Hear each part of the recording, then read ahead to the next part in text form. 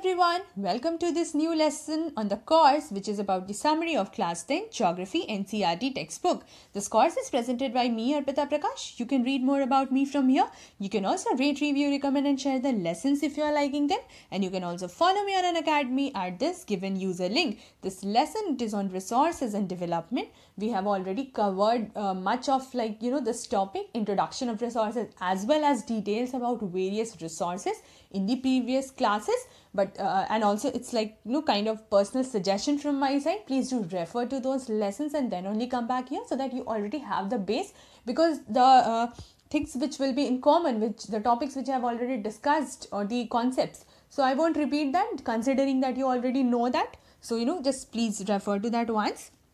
now uh, it will deal with resources and development so first of all what are resources it is like anything or everything that satisfy our needs so we have already done about like natural resources human made resources as well as the human resources now how do we classify resources first of all like you will have you know kind of different uh, kind of classification some will have less number of classification. some will have more number of classification in different reference books so since i am covering the summary of class 10th ncrt what i am doing here is whatever is given given in that particular textbook right so uh, the classification of resources the first one is on the basis of origin so it is biotic or abiotic biotic is which is having life obtained from biosphere like human beings flora fauna fisheries livestock etc the abiotic they are the non living things like rocks metals minerals etc then on the basis of exhaustibility or you can say either in other words like renewability so the renewable one or the uh, inexhaustible one they can be renewed or reproduced by physical chemical or mechanical process it's like solar wind energy water forest wildlife etc they are like further divided into either continuous or flow like you know solar wind energy etc or the biological one like the forest wildlife etc then the non-renewable or the exhaustible one so they take millions of years in their formation and uh, among these resources some of them they cannot be recycled and get exhausted with their use like the fossil fuels however some of them can be recycled like the metals so this is one chart that is given in your book which i mean you should just refer it is another kind of classification uh, but it's more or less the same so it's just for understanding it's like resources basically into natural and human so natural will have renewable and non-renewable so renew uh, i mean just sorry renewable and non-renewable so the renewable it uh, again is having like continuous of flow example wind water etc and other is biological natural vegetation or wildlife non-renewable again recyclable metals or the non-recyclable like the uh, fossil fuels then in the human it's like structure institutions or the quantity and quality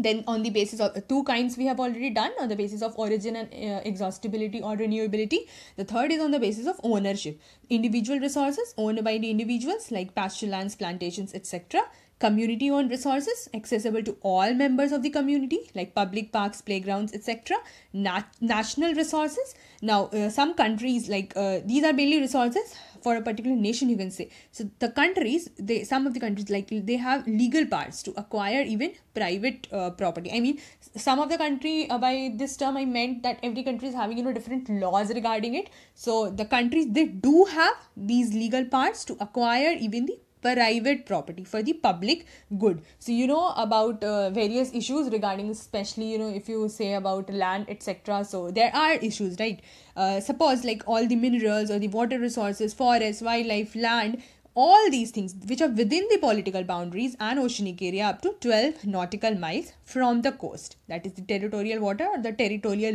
limit is this and other resources so these all resources they belong to the nation only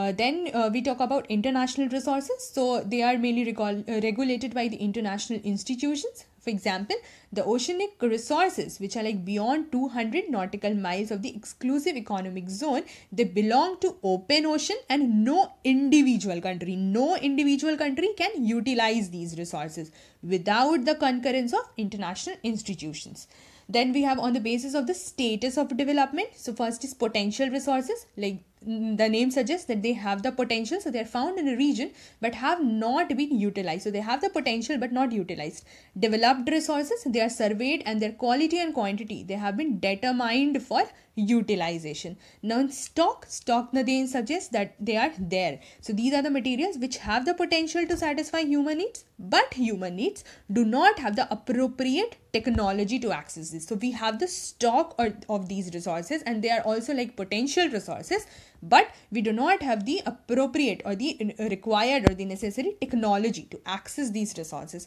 Now, the reserve resources they can be put into use with the help of existing technical know how, but their use has not been started so they can be used for meeting like future requirements and they have like they are here and uh, whatever technologies exists existing right now so with those help we can use these resources so they are in the reserve section like you know un- kind of you know for just for understanding so they are like the reserve sources but then their use has still not been started maybe in future we do so now uh, what i like uh, about the development of resources so some major problems which has arisen like due to indiscriminate use of resources by human beings are depletion of resources then accumulation of resources in few hands that is you know not proper distribution you can say then indiscriminate exploitation of resources and uh, it is also happening because of the global ecological crisis such as global warming ozone layer depletion etc then what do we need because of this or problem uh, like depletion of resources, etc. We need resource planning. Then there is a concept of sustainable development. What is it? When we uh, consider about the present also, like the development of resources in the present without damaging the environment, which should not compromise with the needs of the future generation so sustainable development present as well as future we are considering both the time then what is this resource planning we just see saw here that uh, because of these problems there is a need for resource planning now what's that it is basically about the judicious use of resources because in india like we have enormous diversity in availability of resources uh, some areas are like rich in some resources some are deficit so this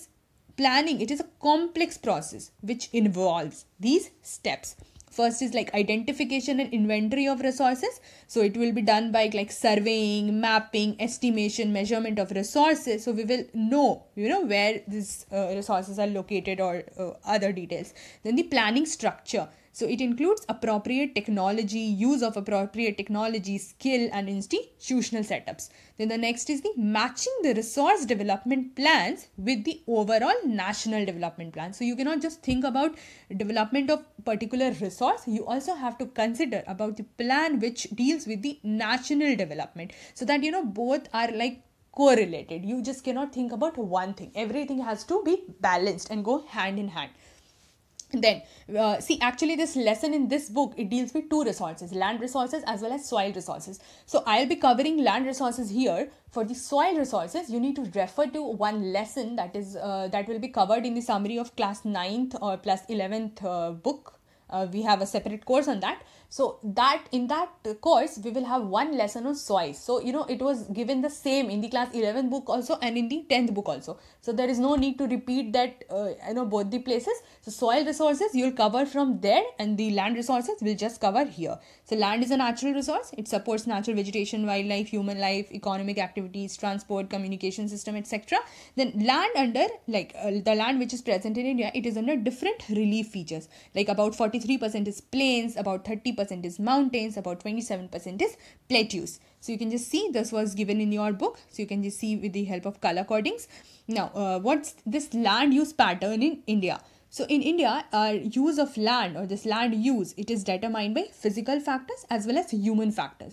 So in the physical factors, we have like topography, climate, you know topography climate soil types etc in the human factors we have like population density technological capability culture traditions etc so uh, on this page in ncrt there is a diagram of pie chart i'll just show you also and this is for your reference also I mean this is the diagram I'm talking about. So with the help of color codings you can see which color represents what like you know this yellow one it is having the barren and uncultivated culturable wasteland then you know this color is having uh, this permanent pasture and grazing land then it is net sown area. So you know different colors are having this.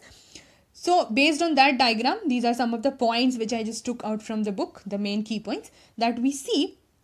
see uh, it is actually what is important is that it was it is given for 1960 to 61 general land use categories you know so what percent of land is used for which purpose it is mentioned here and then this is for 2008 2009 it's just not uh, seen here but it's 2008 2009 so um, based on this what observation was drawn uh, some of the key points are here uh, so we see that there is a decrease in land under permanent pasture. Then also the pattern of net sown area, it varies greatly from one state to another. Then the forest area, it is far lower than the desired 33% of the geographical area. You can, you know, match with them. I cannot just keep uh, changing the slide. You can just look uh, when you read. Then the wasteland, it mainly includes those land which are like kind of rocky, arid or the desert areas and the lands which are put to other non agricultural uses it includes settlements roads railways industries etc so you'll just see here you know it's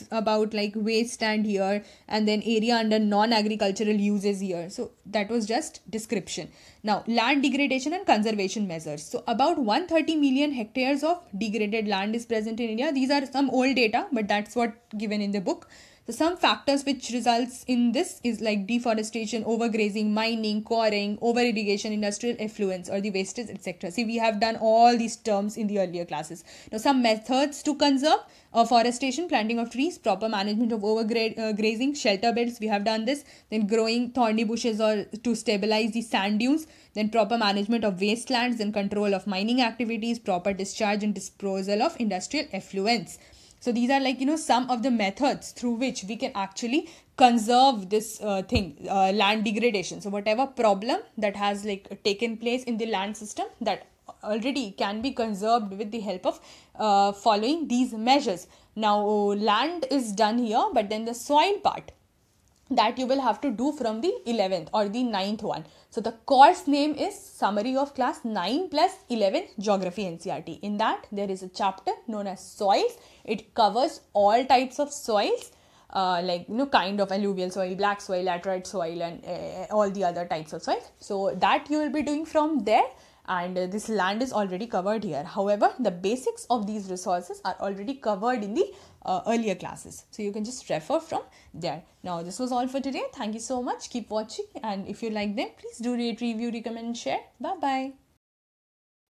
Hello everyone. Welcome to the new lesson on the course which is about the summary of class 10 Geography NCRT textbook. This course is presented by me Arpita Prakash you can read more about me from here. You can also rate, review, recommend and share the lessons if you are liking them. You can also follow me on Unacademy at this given user link. Now this lesson, it is on forest and wildlife resources. We have already done the basics of, you know, natural vegetation and wildlife so many times almost in all the classes. But here we will be dealing some other things. So it's new for you guys. Learn. It's not the repetition. Some of things, uh, some of the things will be repeated but it's mostly new. Now, forest and wildlife resources. So, what's this term basically? Biodiversity or biological diversity? Because we have like, you know, diversity in, or richness in different kinds of flora and fauna here. Uh, so diver- there is diversity in the form and the function of these species flora and fauna species now um, there is also close integration in a system or you can say kind of interdependence between different species no species can live in isolation they need some of the other species to survive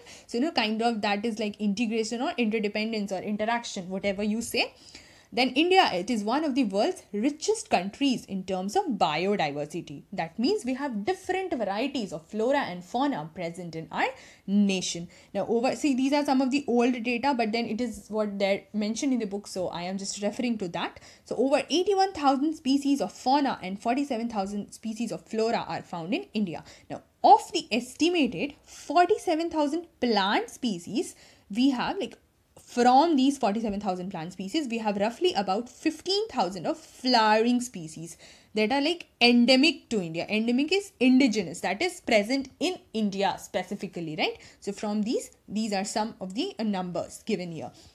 then uh, based on IUCN, IUCN is International Union for Conservation of Nature and Natural Resources. So based on IUCN, uh, there is some categorization done for the existing plants and animal species. So what's given in your book, we are just covering. And those of you who are preparing for competitive exams, particularly if I talk about UPSC, you have a, a separate like a theme on environment and ecology, or you can say a uh, subject you can say so you have to do that you know these iucn things and everything about these species and you know which species is endangered which is vulnerable and everything you have to do in greater detail this is just the introduction and this is the summary of the book so i am restricting myself to the uh, content of the uh, book itself. Now, based on this, the categorization is done. First is the normal species. So, these species, whose uh, they are those species whose population levels are considered to be normal for their survival. So if you know, I mean, these species are like normally available in number. The number is fine. Okay, they are like normal ones. So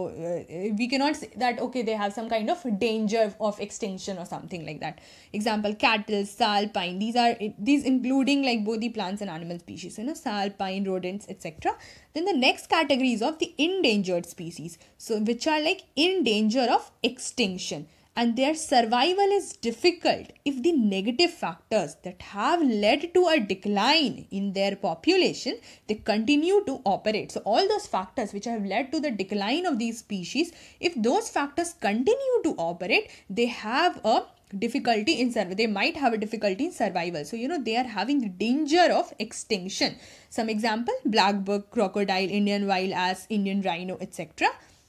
then vulnerable species so these species whose population has uh, i mean those species whose, whose population has declined to levels from where it is likely to move into the endangered category in the near future so you know their levels are like declining and in near future they might you know end up entering into the category or moving into the category of the endangered category so they are you know very vulnerable they are you know at a risk and if the this is like very common line if the negative factors continue to operate so some example blue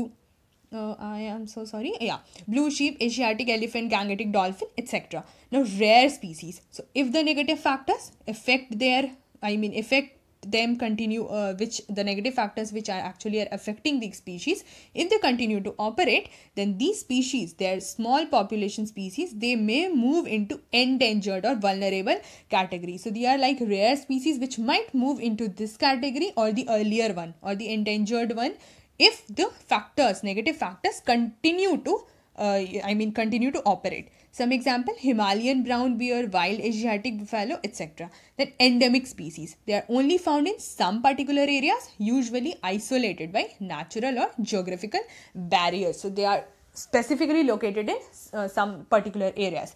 like Andaman teal, Nicobar pigeon, Andaman wild pig, etc. Then the extinct species. These are the species which are not found either after searches of known or likely areas where they may occur. So these are kind of gone species you know they are not existing anymore so a species may be extinct from a local area a region a country a continent or the entire earth so it depends you know what area we are considering so if we talk about one particular local area or a local region or a country or a continent so I mean, it's like kind of relative in nature. We, we will see with respect to the area we are talking about then only like we will uh, consider some of the species to be the extinct one some examples asiatic cheetah pink-head duck etc then the, some of the negative factors that actually cause the fearful depletion of flora and fauna so we have already uh, heard this term you know several times in the previous slides the negative factors continue if the negative factors continue to operate so what are those negative factors that actually lead to the depletion of these uh, flora and fauna now, during the colonial period, the, uh, I mean, this is one of the reason what happened during the colonial period. There was like expansion of railways, uh, agriculture, then commercial and scientific forestry and mining activities. So, because of all these things, the habitat was depleted or it was, you know, um, they were having problems in that after independence what happened there were continuation of this agricultural expansion so it led to further depletion then uh, these are some of the other region uh, reasons like land degradation due to shifting cultivation then large scale development projects it results in loss of forests then mining then grazing and fuel wood collection then habitat destruction hunting poaching or exploitation environmental pollution etc then uh, poisoning or the forest fires this is like both it can be both uh, human um, uh, are done i mean the human beings can also be involved and also can be natural then unequal access or the inequitable consumption of resources and differential sharing of responsibility for environmental well-being so you know different people or different nations or different countries if they share it differently so and also overpopulation these are some of the reasons why you know there is depletion of flora and fauna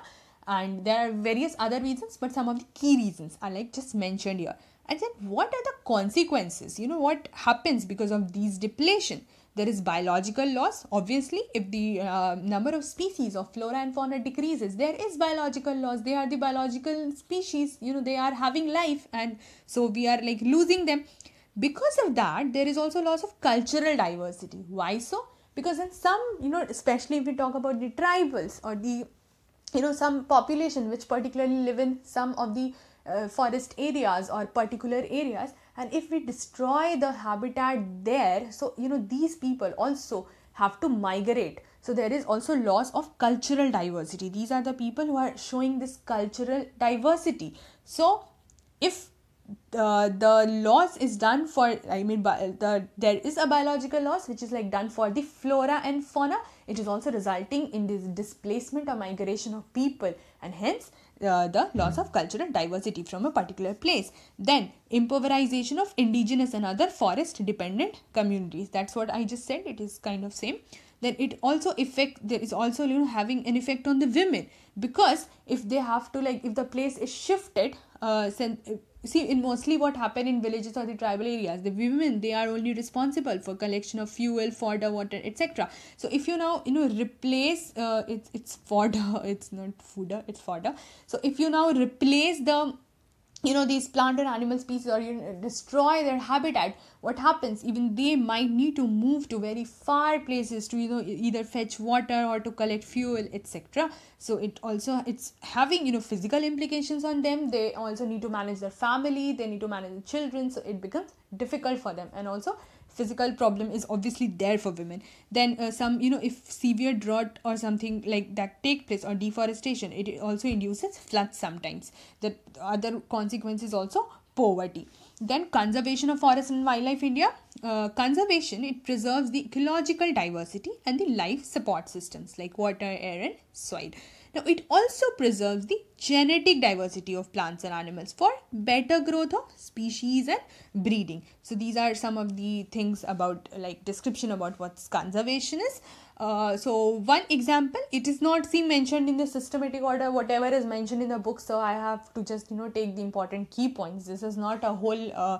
lesson on only conservation. You can find various various methods for that when you uh, read about environment and ecology. Now, uh, one example is like Indian Wildlife Protection Act passed in 1972. So it talked about the habitat protection of animals, then you know, uh, an all India list of it made an all India list of the protected species. It also kind of talked about banning hunting then it talked about legal protection to like giving legal protection to the habitats and then restriction uh, re- restrict trade in the wildlife so these are mainly for the protection of remaining population i mean whatever population is population of these species are left now for them we should have you know hunting banned then for those habitats we should give legal protection to them so that you know no one comes and just destroy them and if something like that happens there should be legal implications also then uh, obviously restricting trade in the wildlife then uh, there was also like setting up of central and many state government uh, established national parks and wildlife sanctuaries several projects like for protecting specific animals which were gravely threatened were also considered for example tiger for projects for these species these are some of the examples like tiger one horn rhinoceros kashmir stag kashmir stag or hangul or uh, kind of you know three kinds of crocodiles freshwater saltwater gharial asiatic lion etc so for all these like you have already heard about project tiger project elephant etc so these we are talking about them so they are done for protecting specific animals now, uh, full or partial legal protection against hunting and trade throughout India was supposed to be given, are supposed to be given to some of these species like Indian elephant, black buck, green Indian bustard, snow leopard, etc. So these are some of the current, current as in, you know, of kind of you can say after independence development Hmm, for conserving these uh, resources then the, later there was addition of several hundred butterflies or moths beetles and one dragonfly to the list of the protected species right um, we just did about yeah so you know we uh, read about protected species here uh, in this act so later these species were also added to that list then in 1991 for the first time Plants were also added to the list of these protected species, starting with six of the species. So, uh, uh plants were added for the first time in 1991 in these species. This is what NCRT says, right? these are not, you know, my research things. These are NCRT content okay then we have a few like just kind of talk about types of forest so we have like reserved and protected forests they are also known as permanent forest and they are for the purpose of producing timber and other forest produce and for various protective reasons now state which is having largest area under permanent forest it is Madhya Pradesh. Now, some of the states which are having large percentage of reserved forest of its total forest area Jammu, Kashmir, Andhra Pradesh, Uttarakhand, Kerala, Tamil Nadu, West Bengal, and Maharashtra. Now, some of the states where the bulk is under protected forest. Here we are talking about the reserved forest. Here we are talking about the protected forest. So these are some of the states where mostly the uh, the forest are protected forest. Then the unclassed forest are like the all North Indian states in the uh, present in North in Eastern states. Sorry, north eastern states and some parts of Gujarat uh, when we talk about this community and conservation, we see that in India, forests are also home to some of the traditional communities we know about these you know tribal worship etc then so for conservation the local communities as well as the government officials are responsible so in like in rajasthan we have sariska tiger reserves where the villagers they fought against mining by citing the wildlife protection act this is how you know the villagers also come towards conserving these forests because for them they actually matter then um, for some sacred groves there is also like worshipping of trees mainly it's like the old tribal belief like the mundas and santals of chota nagpur region they worship mahua and kadambar these are trees tribals of odisha and bihar they worship these trees and we also worship like peepal and banana trees this is very general in india then there was like chipko movement um,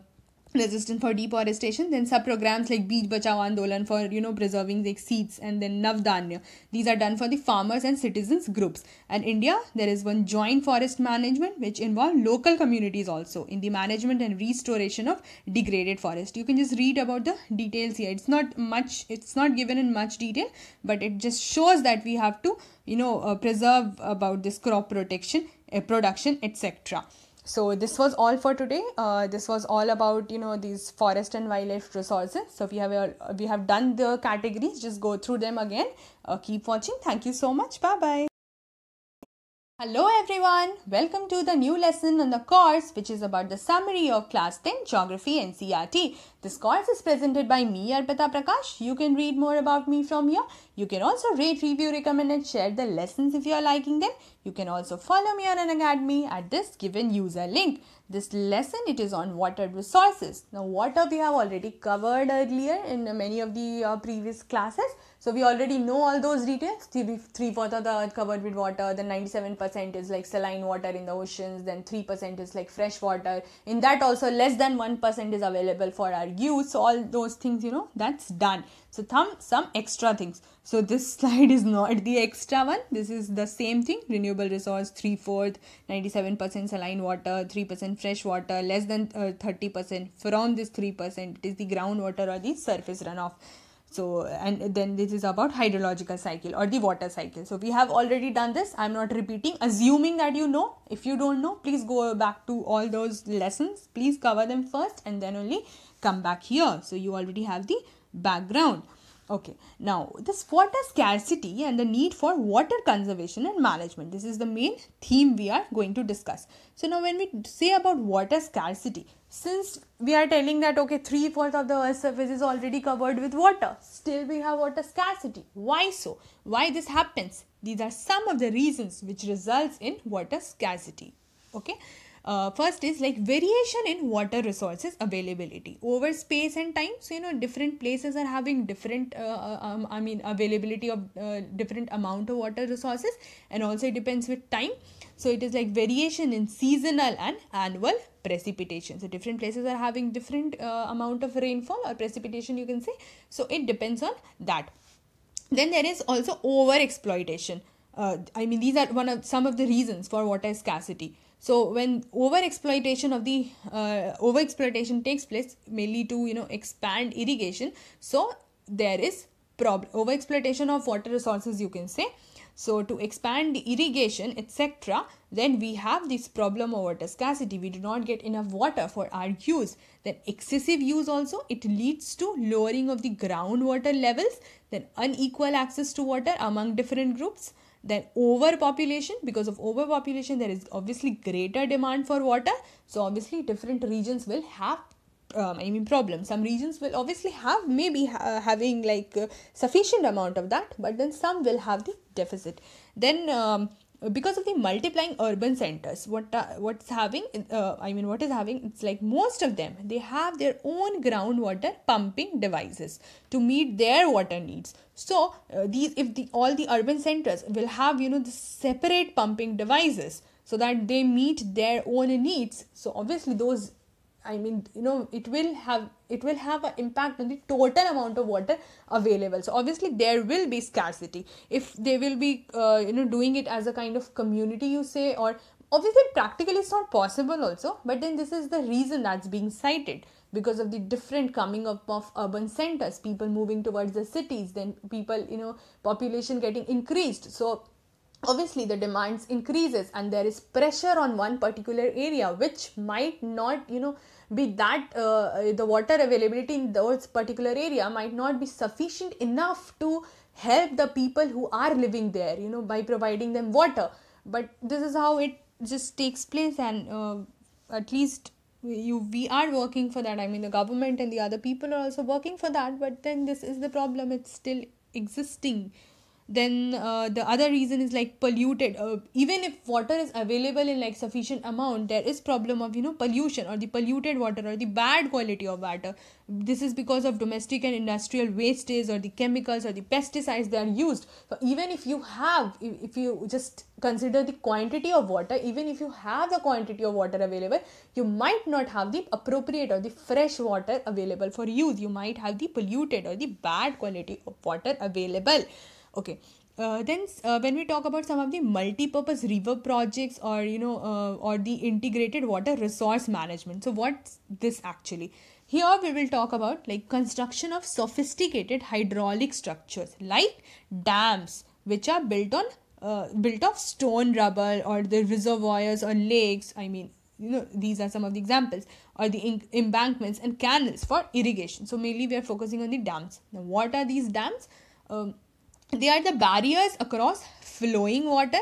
which obstructs or directs or retards the flow of water see we have already uh, done about you know there was one lesson if i remember correctly uh, uh i think it was in class 8 or something where we uh, 7th i just don't remember exactly but then uh, we talked about you know different uh, methods to preserve the soil conservation um, so we in that we also you know uh, studied about making dams uh, uh, because what happens if it you know, restricts like it's given here it obstructs or directs or retards the flow it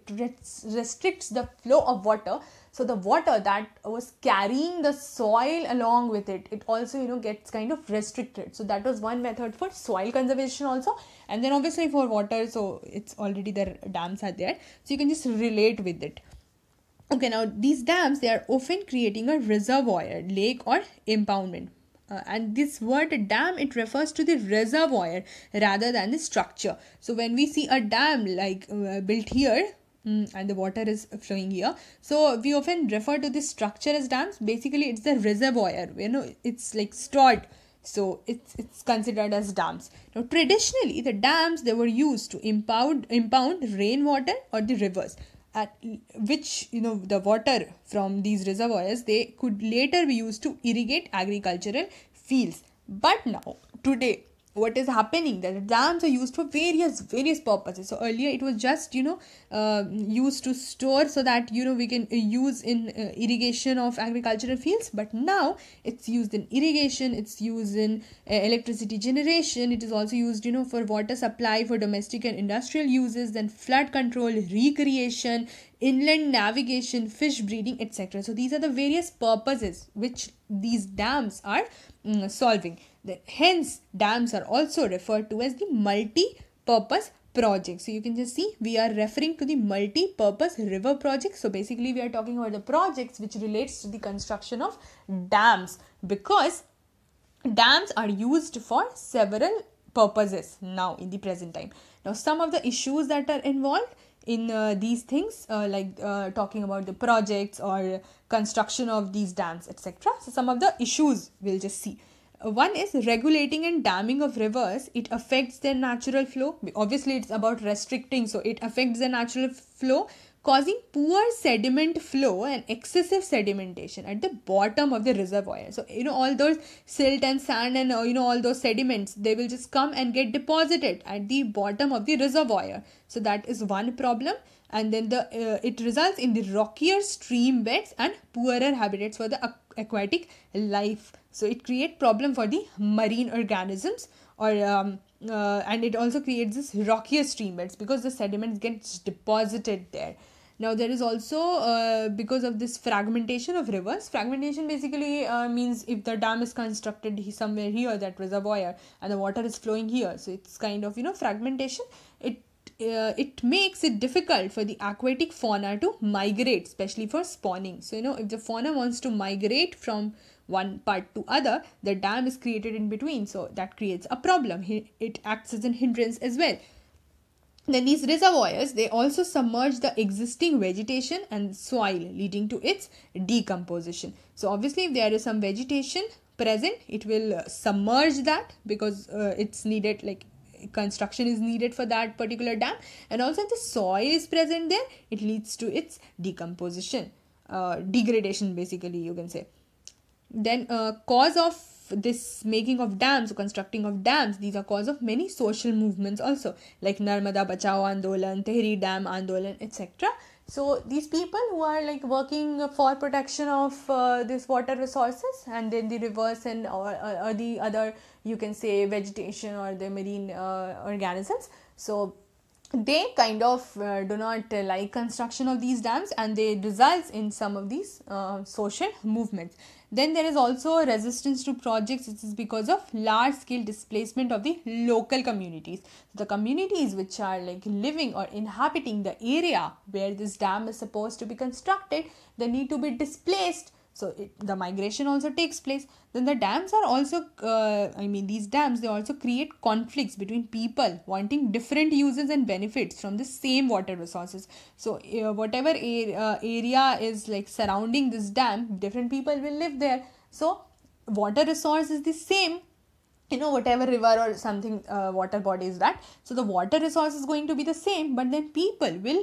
want different uses from the same source so that is a kind of conflict. Then there is also interstate water disputes. You need to mention some of the recent interstate wa- water disputes in the comment section below, which are like the news of current affairs. Recent, I mean, you know, past five, six, seven, eight months, you can just consider. So, name some of the examples. Uh, it is because of the sharing the cost and benefits of the multi purpose projects. Then, the failure of projects uh, or the purpose. I mean, this is basically uh, what means by this point is that, that the dams were when the projects were being considered when you know uh, when they said that okay we will make dams for uh, this purpose they said that dams were constructed to uh, will i mean the dams which will be constructed they will help to control the floods but when these dams were constructed, so when the dams that were actually constructed to con- uh, control the floods, they actually triggered floods due to sedimentation in the reservoir. We already uh, learned about that, you know, deposition or sedimentation here uh, in the bottom of the reservoir. So because of that, flood actually happened. So the purpose was not served. So there was failure of purpose. It was supposed to control this, but it actually led to it's happening i mean to you know uh, uh, floods taking place then some multi-purpose projects they are also induce uh, these projects like they also induce earthquakes or they also cause some waterborne diseases or um, pest or pollution because of excessive use of water then uh, rainwater harvesting what's in that so in ancient India, people they were having in-depth knowledge of the rainfall regimes and soil types. So what they did, they developed wide ranging techniques you know to harvest rainwater or groundwater or river water and flood water keeping within local ecological conditions and their water needs so they actually considered about the uh, ecological conditions as well as the uh, water needs of local people and they said that okay we will harvest these water you know rainwater groundwater etc so that we use it in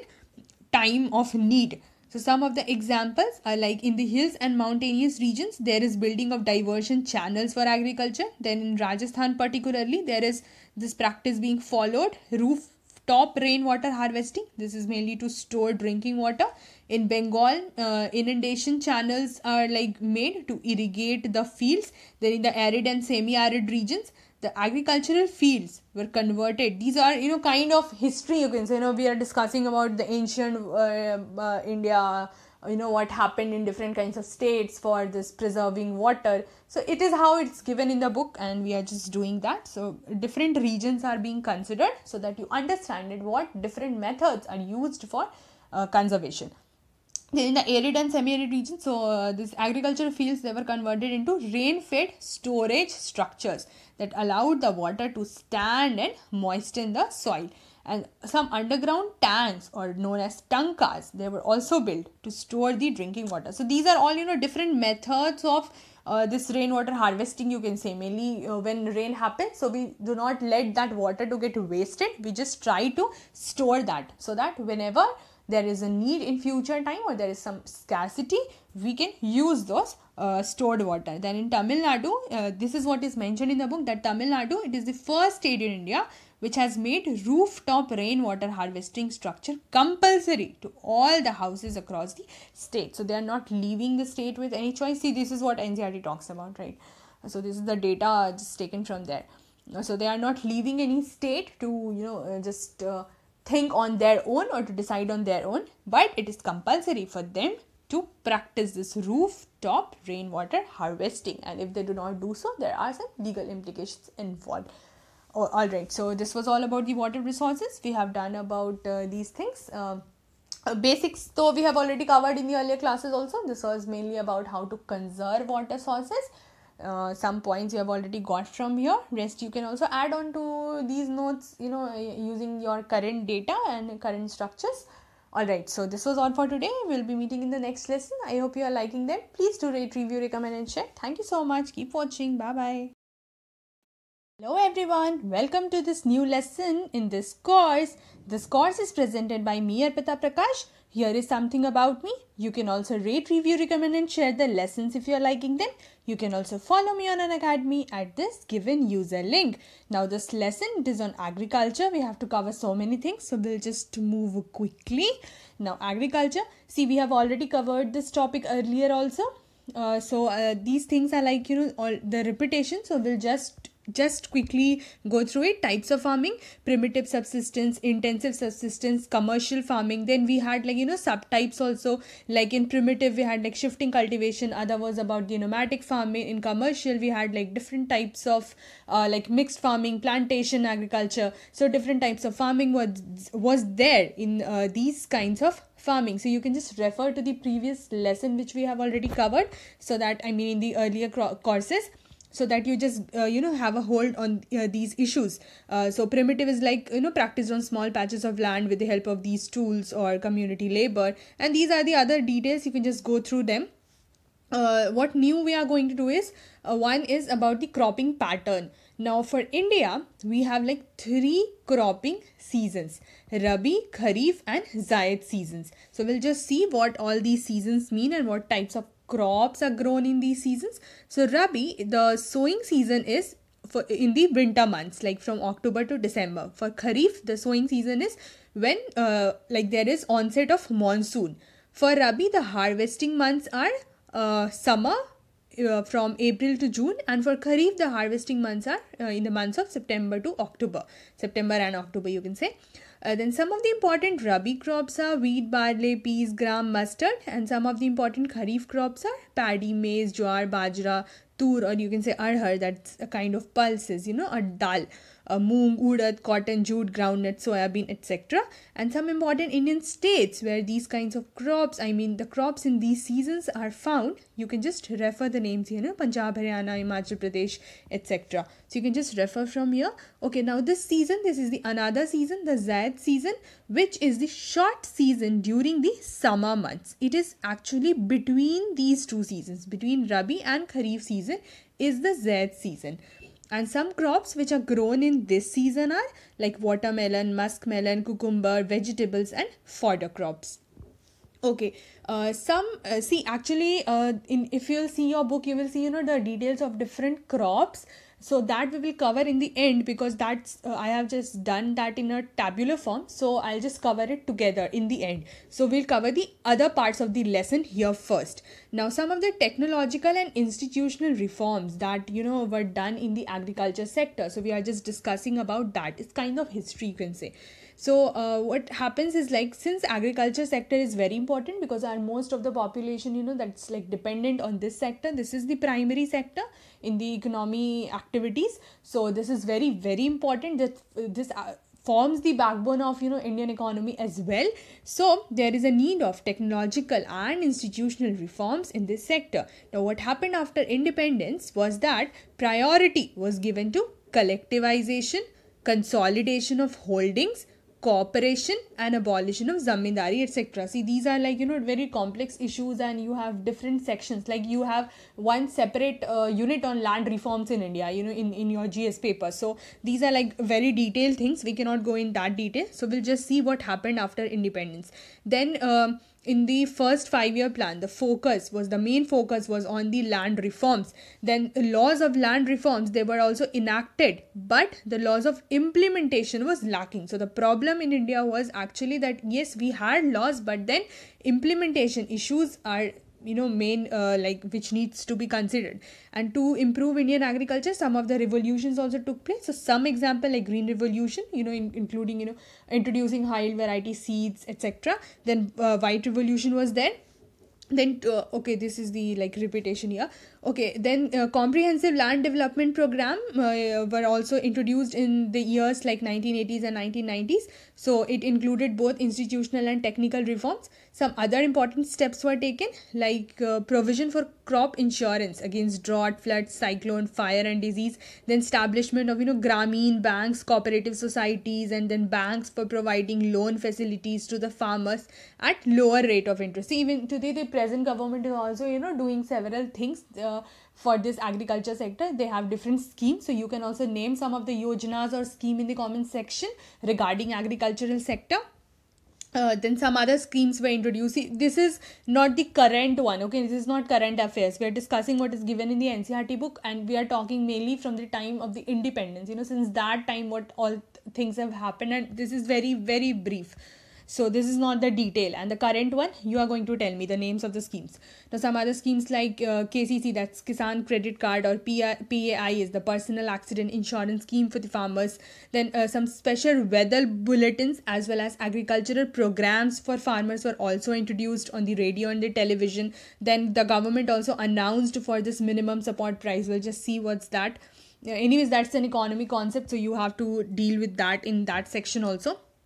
now contribution of agriculture to the national economy employment and output so how this sector is contributing in these things since agriculture is the backbone of indian economy and but we have seen that you know since uh, 1950 or you can say from 1951 onwards there is a declining trend that's being witnessed in the share of gdp i mean share of agriculture sector in the gdp however uh, the uh, you can say like the contribution contribution as in um, uh, labor force you say uh, like involved in this sector is like very huge but still the contribution was uh, like declining so the cause of concern was that this decline might lead to a declining other spheres of the economy as well, which will have further implications or the wider implications for the society. So we need to look after this issue that why there is a declining trend seen in the share in GDP because it is ultimately going to affect the other sectors as well. So government, you know, uh, just uh, try to um, take some efforts to modernize the agriculture like establishment of ICAR. You are going to write the full form of ICAR. We have discussed it several times earlier. Then some agricultural universities were set up, some veterinary services were given, animal breeding centers were developed, horticulture development was being focused, some research and development in, in the fields of meteorology and weather forecast, etc. So that we already get to know that, you know, what steps we are going to take for better production of the, uh, the these crops then uh, issues uh, one of the important issues was also to improve the rural infrastructure so the government took several steps or you know tried to uh, bring reforms in some of uh, these things sectors you can say or any anything you can just you any term you can use for that uh, there is one or uh, more concept about food security it is basically because we need to you know secure our food the crop production as well as its distribution so that it reaches to maximum number of people that has to be taken care of so one important thing that the government designed was this national food security system it was to ensure availability of food to all sections of society and it had like two important components one is pds other is buffer stock so we are going to write the full form of pds in the comment section now this pds it was done to provide food grains and other essential commodities at subsidized prices this is very important at subsidized prices in rural and urban areas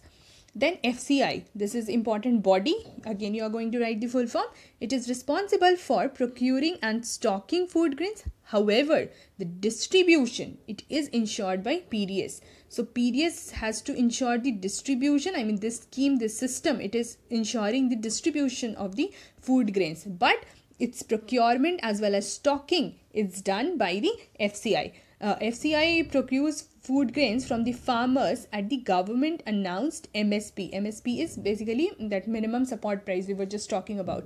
So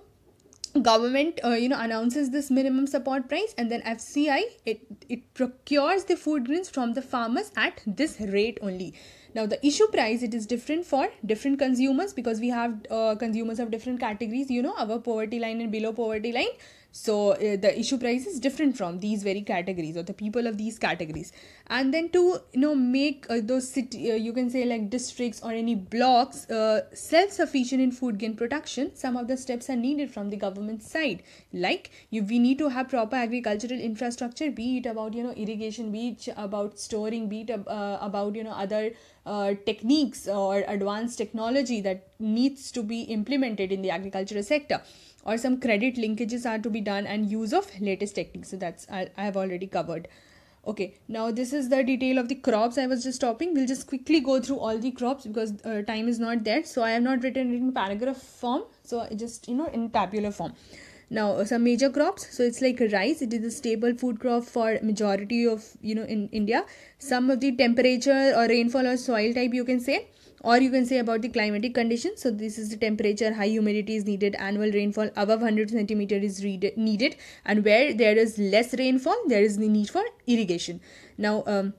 type of crop i mean uh, what type of crop is rice you know, based on the season so it is a kharif crop and india is the second largest producer after china these are some areas or states of production for rice then wheat it is the second most important cereal crop and uh, it requires a cool growing season and bright sunshine at the time of ripening and the rainfall is 50 to 75 centimeter annually. It is a rabi crop two important uh, wheat growing zones are one is Ganga Satluj plains in the northwest and the other is the black soil region in the Deccan area and these are the states then millets so you have like jowar bajra ragi these are also known as the coarse grains so jowar it is a rain fed crop uh, which is like mainly done in the uh, moist areas bajra it is produced in sandy soils and shallow black soils and this uh, ragi it is done in the dry season and these kind of soils are needed and here are the states for all these three types of millets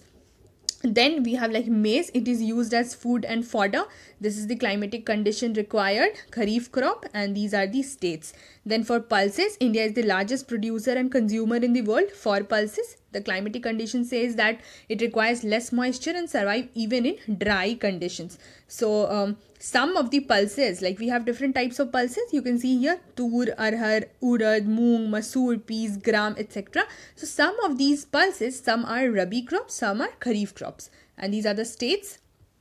then some food crops which are other than the grains so like one is sugarcane so it is main source of sugar gur khansari, molasses etc these are the climatic conditions required uh, these are the major producer states and some remarks like you know uh, i have just made this column i actually developed you know i understood that i should have made the column better in the previous one also but i already wrote that so i did not correct that um, remarks is like you know whatever important is uh, mentioned about this crop in the book so like uh, one thing it was there that this is a tropical and subtropical crop and india is the second largest producer after brazil then oil seeds. so we have different types of oil seeds like groundnut so it is a kharif crop mustard it's rabi crop coconut then til or sesamum you can say so it's Mm, rabi in the south India and kharif in the north India. Then soya bean. Then we have castor seeds. So it is both rabi and kharif. Then cotton seeds. Then linseed. It is rabi crop. Sunflower. So uh, whatever I am not mentioned, you know, like sunflower, cotton seeds, or soya bean, or coconut, etc. So this was not given there.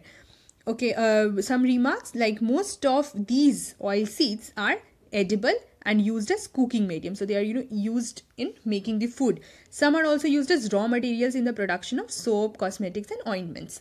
then uh, tea it is a beverage crop you know it's used to like drink so these are the climatic conditions required tea, tea bushes are uh, mainly found in the warm and moist uh, frost free climate all throughout the year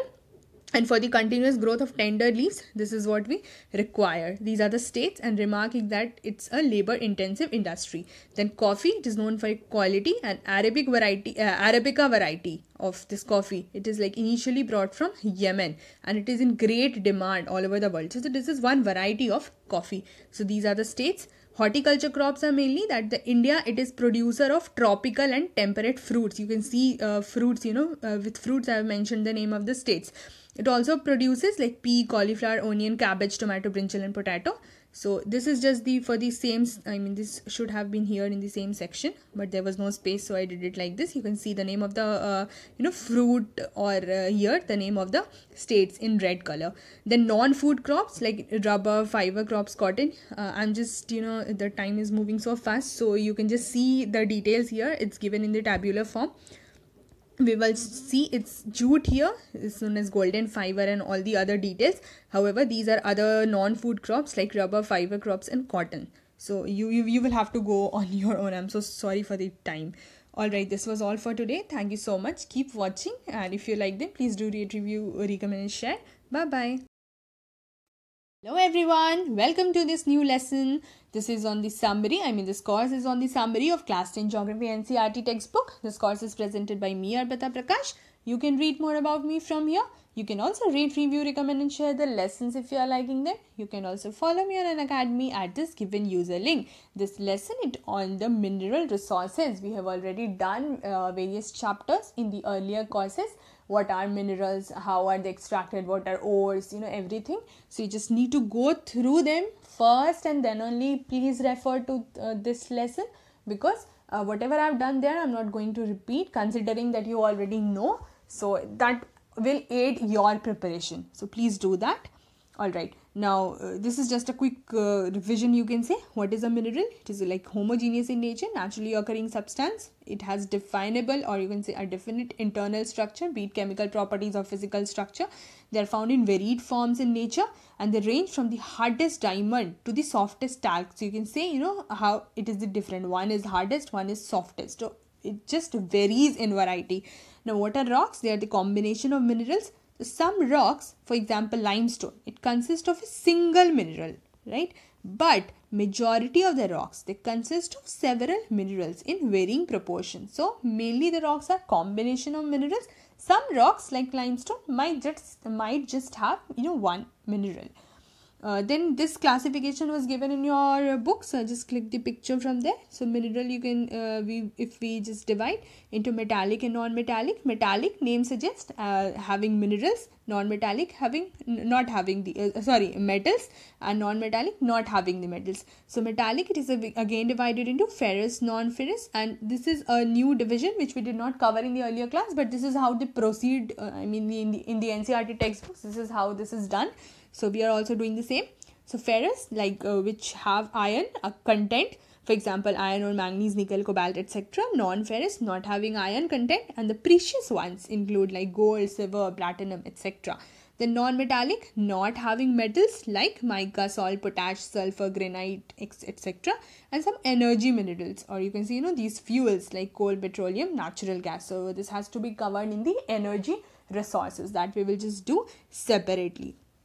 okay now some mode of occurrence of minerals you know how they occur so the first thing is where are these minerals found so minerals are usually found in the ores and for ore in general we say that it is accumulation of any mineral mixed with other elements and we have already covered in detail what exactly ore means you know in the earlier classes now the mineral content of the ore must be in sufficient concentration so that it makes its extraction commercially viable you know because this is a very important process and this is very um, useful also so this has to be commercially viable. viable i mean you know, there should not be any wastage so the concentration should be very sufficient the mineral content of the ore now some forms in which these minerals occur so we are going to do five of the forms like first one is in igneous and metamorphic rocks how they these minerals occur so minerals may occur in the cracks or crevices faults or joints so when there are smaller occurrences they are known as veins when there are larger occurrences they are known as lodes some example of the minerals which are occurring in these igneous or metamorphic rocks then in sedimentary rocks sedimentary rocks sorry a number of minerals occur in beds or layers these are the important keywords you need to remember now they are formed as a result of deposition accumulation and concentration in horizontal strata horizontal is like this strata strata is layer by layer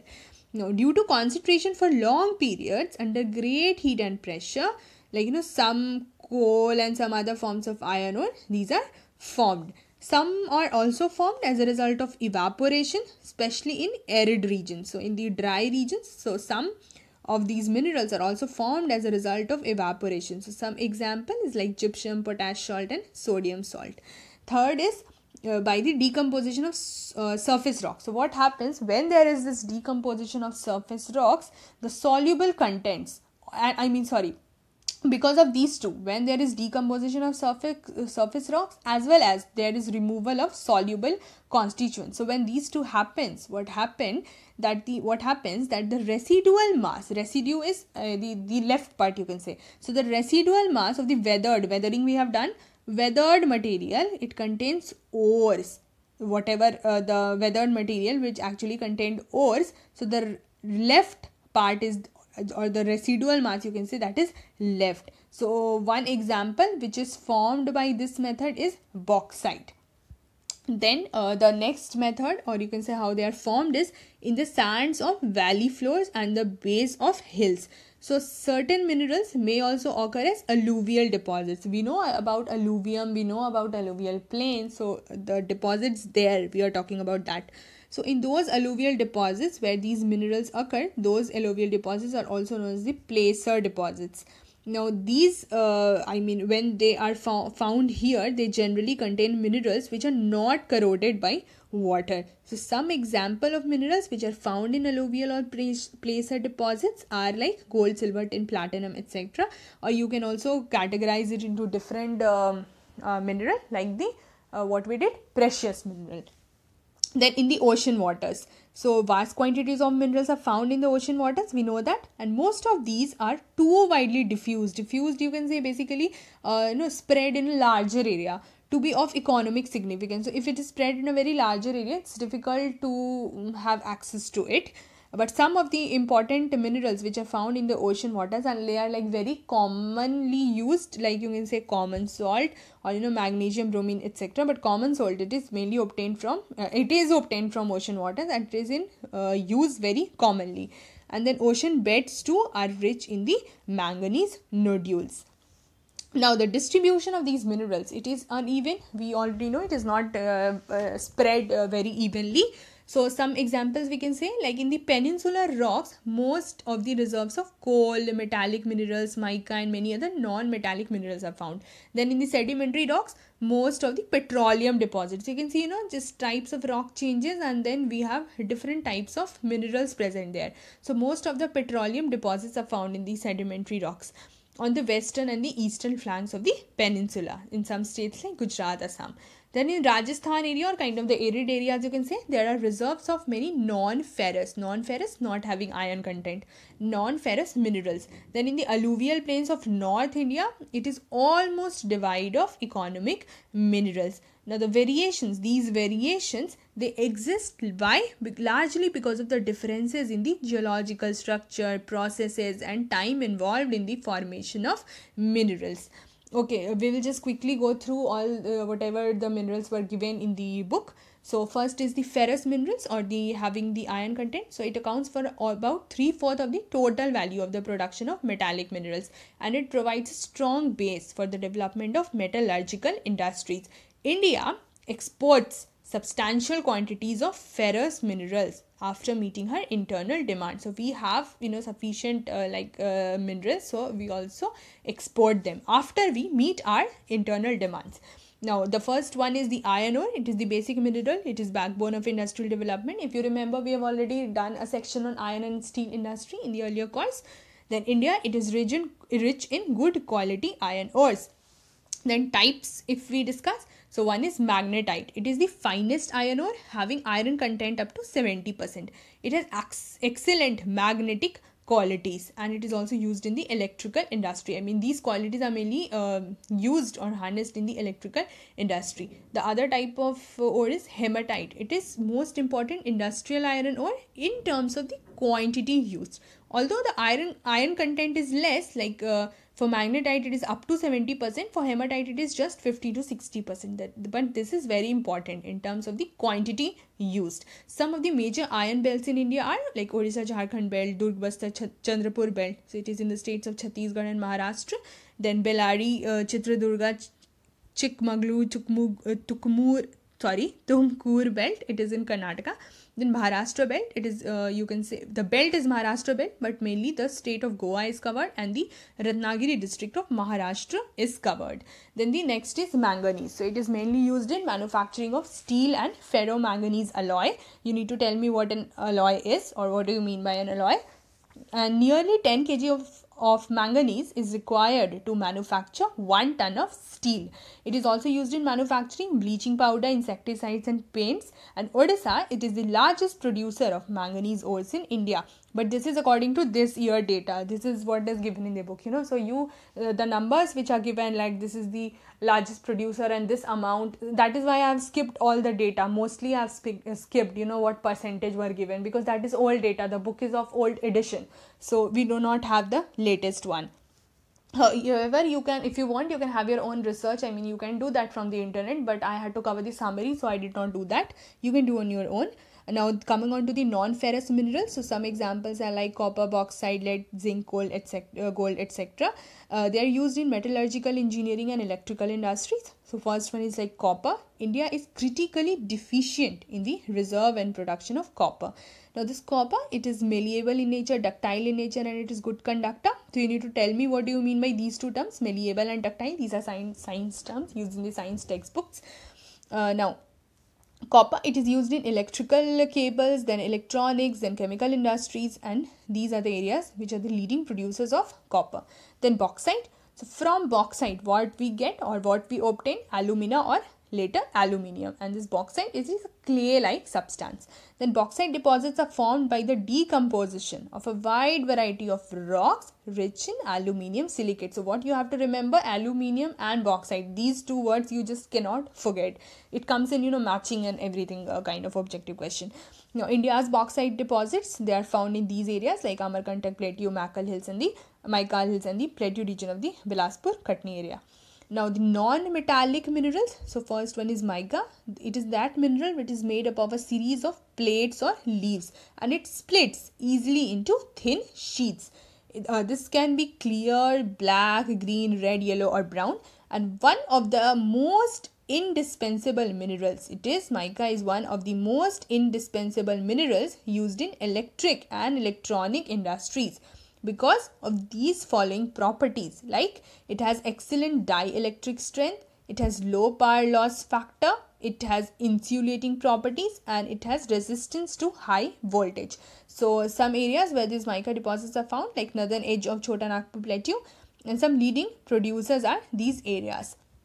Then the rock minerals. So one example is like limestone. It is found in association with rocks composed of calcium carbonate. So this again you need to remember this relation limestone calcium carbonate or calcium and magnesium carbonates. It is found in sedimentary rocks of most geological formations. We uh, did about you know this geological ages and then tertiary uh, uh, ages uh, in that you can just relate from there. Mm, it is the basic raw material for cement industry and it is essential for smelting iron ore in the blast furnace we are going to have a, you know a lesson on the industries also different types of industry so there you will read about cement industry a bit of that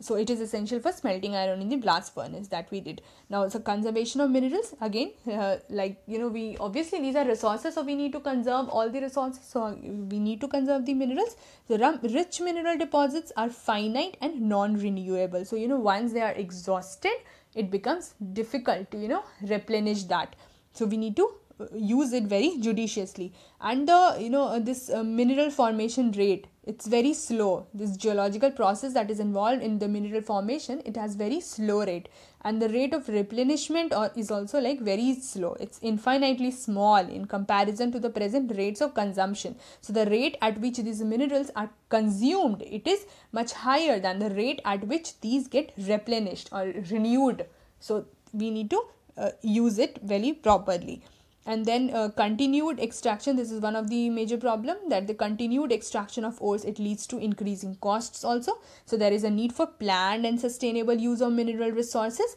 and we can do it with the help of improved technology so that it allows use of low grade ores at low cost so it becomes cost effective as well as uh, the quality also gets improved because of the improvement in technology then recycling of metals is another option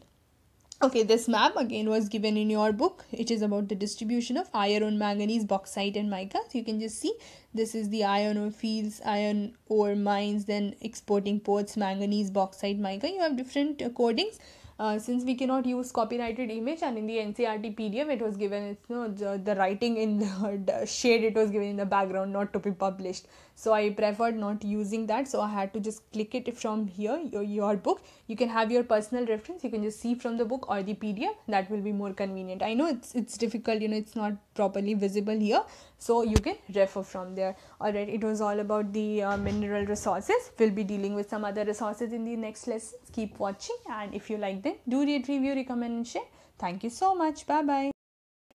Hello everyone, welcome to this new lesson on the course which is about the summary of class 10 Geography NCERT. This course is presented by me Arpita Prakash. You can read more about me from here. You can also rate, review, recommend and share the lessons if you are liking them. You can also follow me on Unacademy at this given user link. Now this lesson it is on the energy resources. Now, energy resources we have already covered in the previous classes that there are two types conventional and non conventional. You are going to write down the difference between these two types of sources, or you can say the meaning of conventional and non conventional sources of energy. So, please write it down in the comment section. Now, uh, first we'll be deal with uh, deal with the conventional sources of energy. So, the first one is the coal. Now, it is the most abundantly available fossil fuel in India. It is used for power generation to supply energy to industry as well as for domestic needs. And India, it is highly dependent on coal for meeting its commercial energy requirements. So these, see these are actually self-explanatory slides but then since I have to say so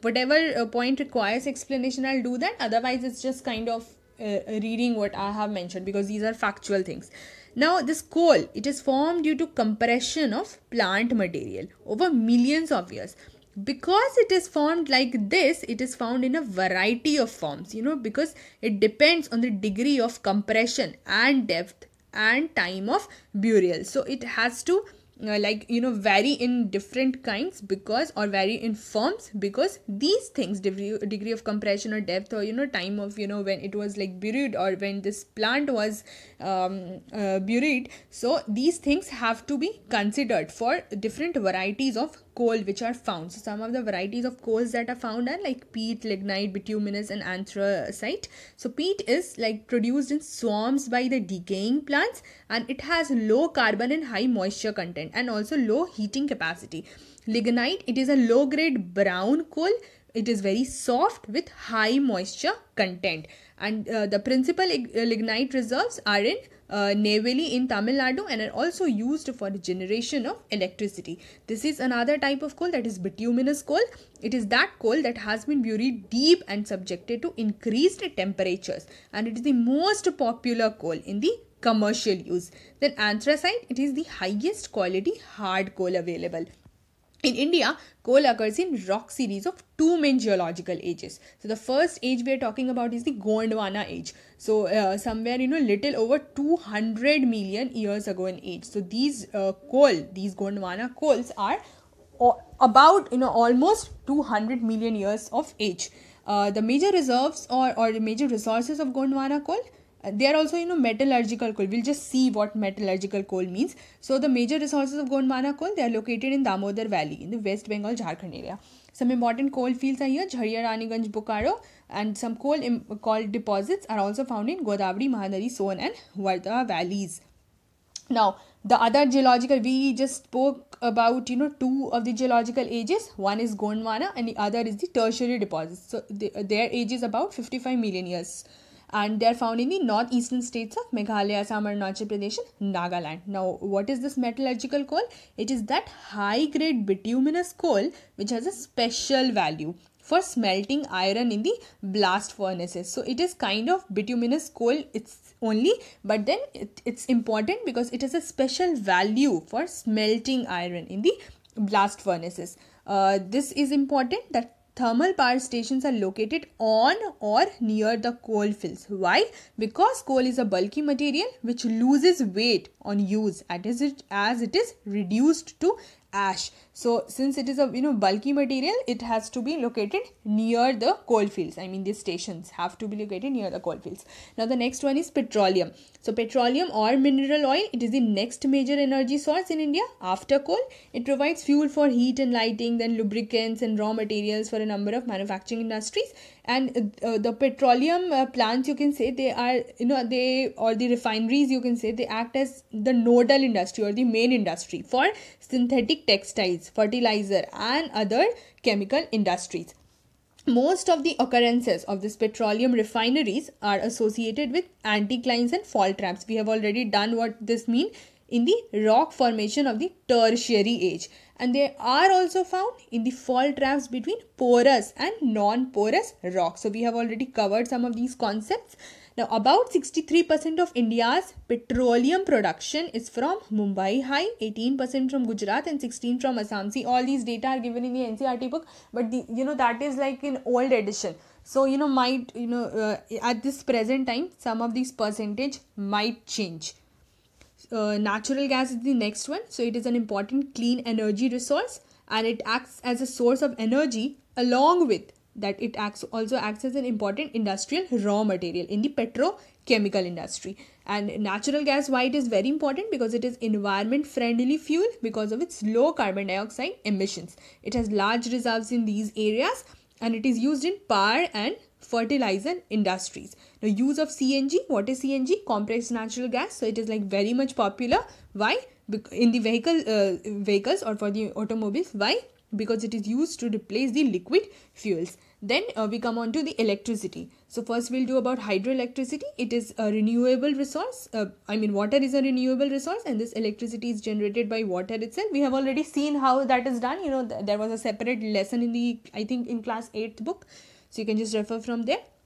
and it is generated by the fast flowing water so the turbine rotates and then electricity is generated and the generator is also there so thermal electricity it is generated by using coal petroleum and natural gas and the thermal power stations use non renewable fossil fuels for generating electricity then uh, these were the conventional sources of energy so now we are doing the non conventional sources of energy so the first one is nuclear or atomic energy it is obtained by altering the structure of the atoms and when this alteration is done there is release of energy in the form of heat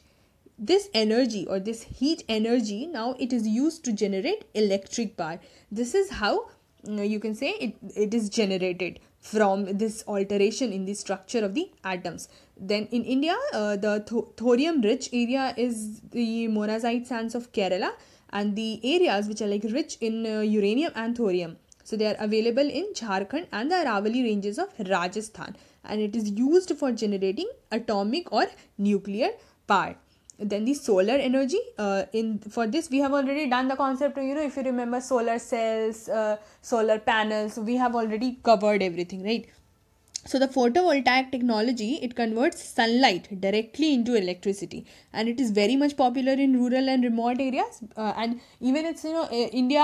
has benefit for solar energy we can actually you know trapping of solar energy is done here because india is located in that tropical region so receiving of sunlight is more as compared to the uh, countries that are found you know near the poles or in the uh, temperate region or the frigid zone so in the uh, rural and remote areas, uh, the solar energy is very much used because it is cost efficient. Uh, there is also establishment of some big solar power plants in India. And if you remember the previous lesson, or I mean the previous course, if if it was class eight, if I remember correctly, yes, it was class eight only. It was about resources. So there uh, we did you know advantages and disadvantages of all these conventional and non-conventional sources of energy. So you can just refer from there also, and then from here also. That was about uh, world distribution. Here it's about India, but then the concept is obviously the same so it's easy to relate. Now, the wind part, uh, the largest wind farm cluster is found in Tamil Nadu from Nagercoil to Madurai. Some other important farms are located in Andhra Pradesh, Karnataka, Gujarat, Kerala, Maharashtra, Lakshadweep. And this Nagercoil and Jaisalmer, they are, these places are well known for effective use of the wind energy.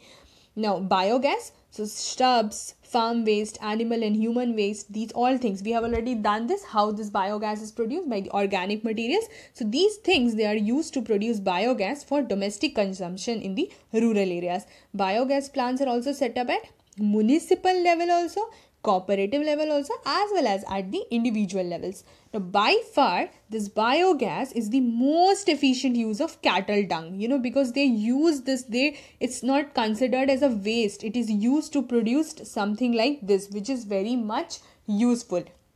and two the main reasons two of the main reasons why this is considered as the most efficient use of cattle dung because it improves the quality of manure as well as it prevents the loss of trees and manures due to burning of fuel wood and cow dung cakes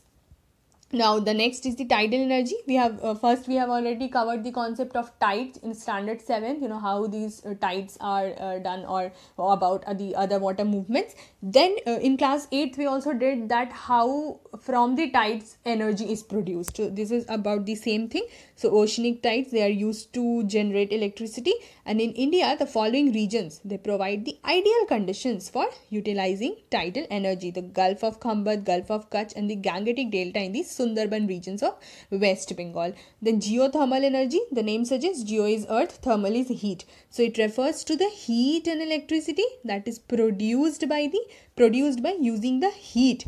from the interior of the earth this also we saw about the hot springs and everything hot water coming uh, moving up and then you know how that actually got converted into an, uh, energy and then how the cold water is again coming inside the earth so we saw that uh, picture there was an image there now it exists this uh, why i mean we are able to you know harness this energy because with increasing depth as the uh, you know depth increases as we move below the earth's surface and as the depth increases the earth grows progressively hotter so it helps in you know getting that hot springs and uh, because of that this energy is produced the two experimental projects that have been set up in india to harness geothermal energy or one is done in the Parvati Valley near uh, Manikarn in Himachal Pradesh, the other is the Puga Valley in the Ladakh. Then, uh, because energy is very important, be, it conventional, non conventional, so we have to conserve energy so that it does not get wasted. Since energy sector of the uh, national economy it is used in all these sectors you know be it agriculture sector industry or transport or commercial sectors or the domestic needs you know input of energy i mean all these sectors need this energy sector so we need to preserve or conserve the energy so there is also now increasing there is increasing consumption of energy in all the forms because we need energy for everything that is very simple and I, I already told you the difference between energy and power if you remember please write it down in the comment section uh, so because of these reasons that it is important for these many sectors and it is also used in various forms and the consumption is you know increasing day by day because of population also so we need to have you know uh, promote this energy conservation how we can do that we can increase the use of renewable energy sources and we can use the limited energy resources whatever is left with us uh, especially you know these exhaustible sources or the non-renewable sources because if once they get exhausted or finished it will take million of years to form again so that's you know kind of impossible to access it right in you know in this same age so uh, for the limited energy resources we should use them judiciously all right uh, these are some of the maps again i have i had to take it from the book itself the picture is uh, clicked from the book because i tried doing it from the ncert pdf what happened there was you know they mentioned it about ncert not to be published and uh, and we are not allowed to use the uh, you know copyrighted images so i had to just click it from the book itself so here you can see in different uh, color shades like we have uh, distribution for coal fields coal mines oil fields and major natural gas reserves and HBJ natural gas pipeline. So you can say India distribution of coal, oil and natural gas. So different colors is different things. Okay, this is distribution of nuclear and thermal power plants. So this triangle, this orange triangle, it is the new it is for the nuclear power plants. This black circle, it is for the thermal power plants. So you can just see, you can remember some of the important, at least you know five ten. Uh, you should know, and you should also know their location. So you can access it from your book as well or online or you can just refer from here all right so this was all about energy resources you can uh, you know please don't forget to do the previous class courses as well i mean on this topic because uh, whatever I have done there, I am not covering it again, and this is applicable for all the topics, whatever I have covered earlier, because it's not possible to repeat everything again and again. So, you, you know, you need to have a comprehensive coverage of these topics from all the other courses as well. Alright, so thank you so much. Please keep watching courses and if you like them, please do rate, review, recommend, and share. Thank you so much. Bye bye everyone, welcome to this new lesson on the course which is about the summary of class 10 Geography NCERT textbook. This course is presented by me Arpita Prakash. You can read more about me from here. You can also read, review, recommend and share the lessons if you are liking them. You can also follow me on Unacademy at this given user link. Now this lesson it is on the manufacturing industries. We have already covered some of bit in the earlier classes. So the basics from there and then a little bit of continuity here. Now, first of all, what is manufacturing? It is that process in which the raw materials becomes more valuable products after processing and it results in production of goods in larger quantity so the whole process where there is conversion or the processing of raw materials into more valuable products is known as the manufacturing now how these industries or the manufacturing process is important for us they help in modernizing agriculture because many times the raw material is the uh, agro uh, based substances so we have like agro based industries they create employment opportunities in secondary and tertiary sectors. Secondary because this itself is a secondary activity secondary economic activity because here the processing takes place and why tertiary tertiary sector basically is the service sector so in, in the secondary sector when you actually process these goods the raw materials and you get some more valuable products you now need to supply them to the people you now need to provide them to the people only then there is a point of processing these things the raw materials otherwise there is no need of doing that so when you like give uh, provide those to people or when you uh, let those people get these uh, processed materials that becomes a work of the tertiary sector or the service sector hence creating employment opportunities and because of this there is eradication of poverty also and it also helps to get us like foreign exchange because of export of manufactured goods and it results in the prosperity of the country now in the earlier course also uh, in class 8 uh, i remember as far as i remember we have done like many factors which are the ideal factors which are required for location of an industry and some of this was given here so we'll just see through it uh, like cost of obtaining raw materials at site cost of distribution cost of production decision to locate factory at site other factors are like you know uh, uh water availability labor availability market availability capital and mm, so many things there are so many factors that influences the location of an industry now how is this industry is linked to the market because in the industry when things are like processed or manufactured it has to reach the market so that it reaches the people so how are they related so what happens that these are the factors of production land labor capital entrepreneur and infrastructure so these things they use these inputs or the raw materials or some of the component parts they then transport these things the raw materials into the factory where all the processing and things takes place so after the processing or the manufacturing there is output or the product that we receive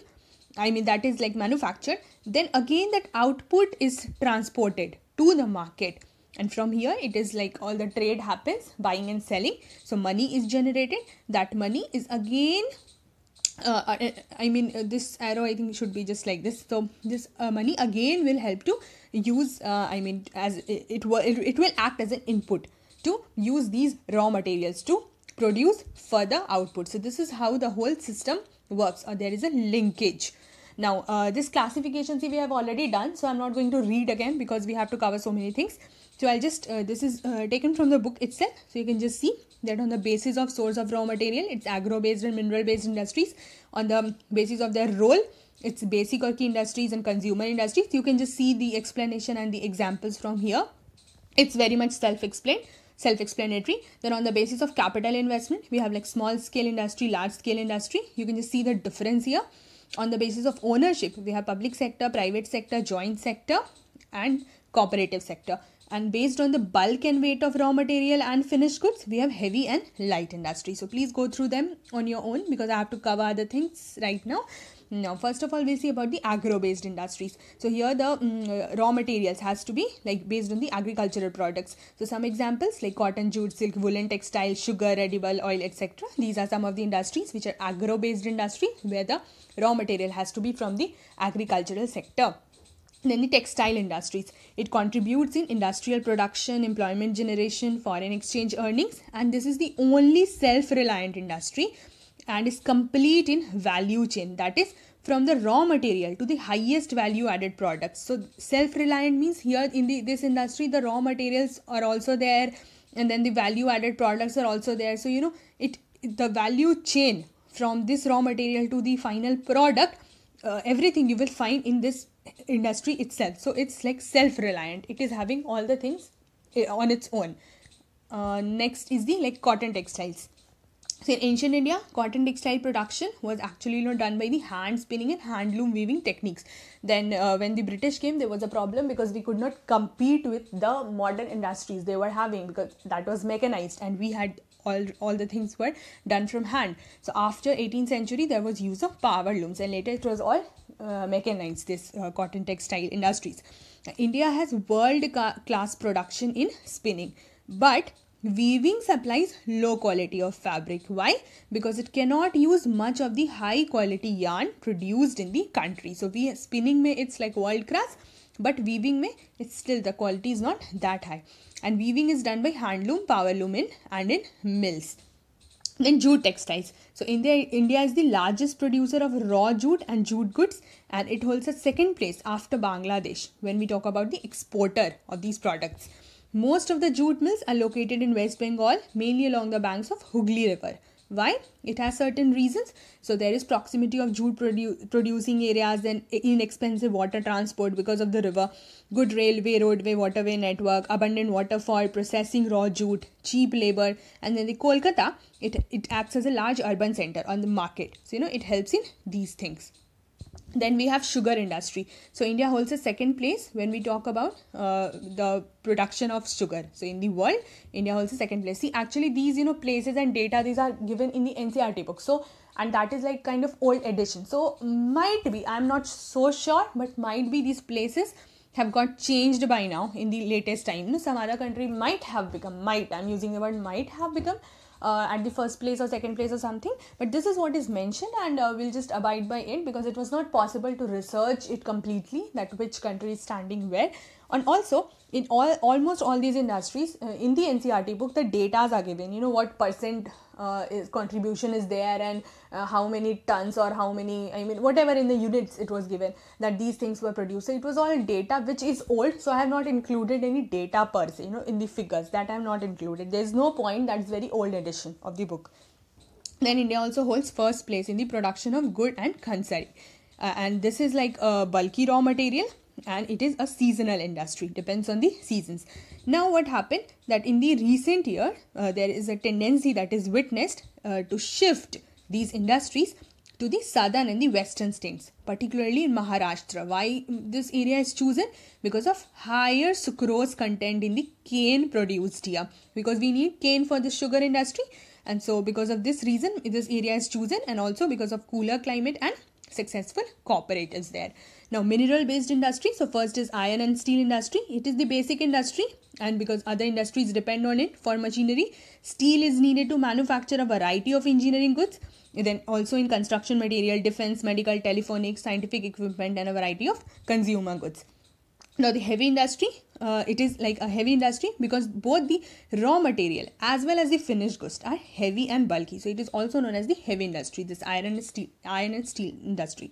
Now, iron ore, coking coal, and uh, limestone are required in the approximate ratio of 4 is to 2 is to 1. Some quantities of manganese they are also required to harden the steel here in this industry. Now, most of the public sector undertakings they market their steel to SAIL. So now you have to give me the full form. We have already discussed about it. So please write it down in the comment section. And then the Chota Nagpur Plateau region it has the maximum concentration of iron and steel industries these are the reasons we have already done if you remember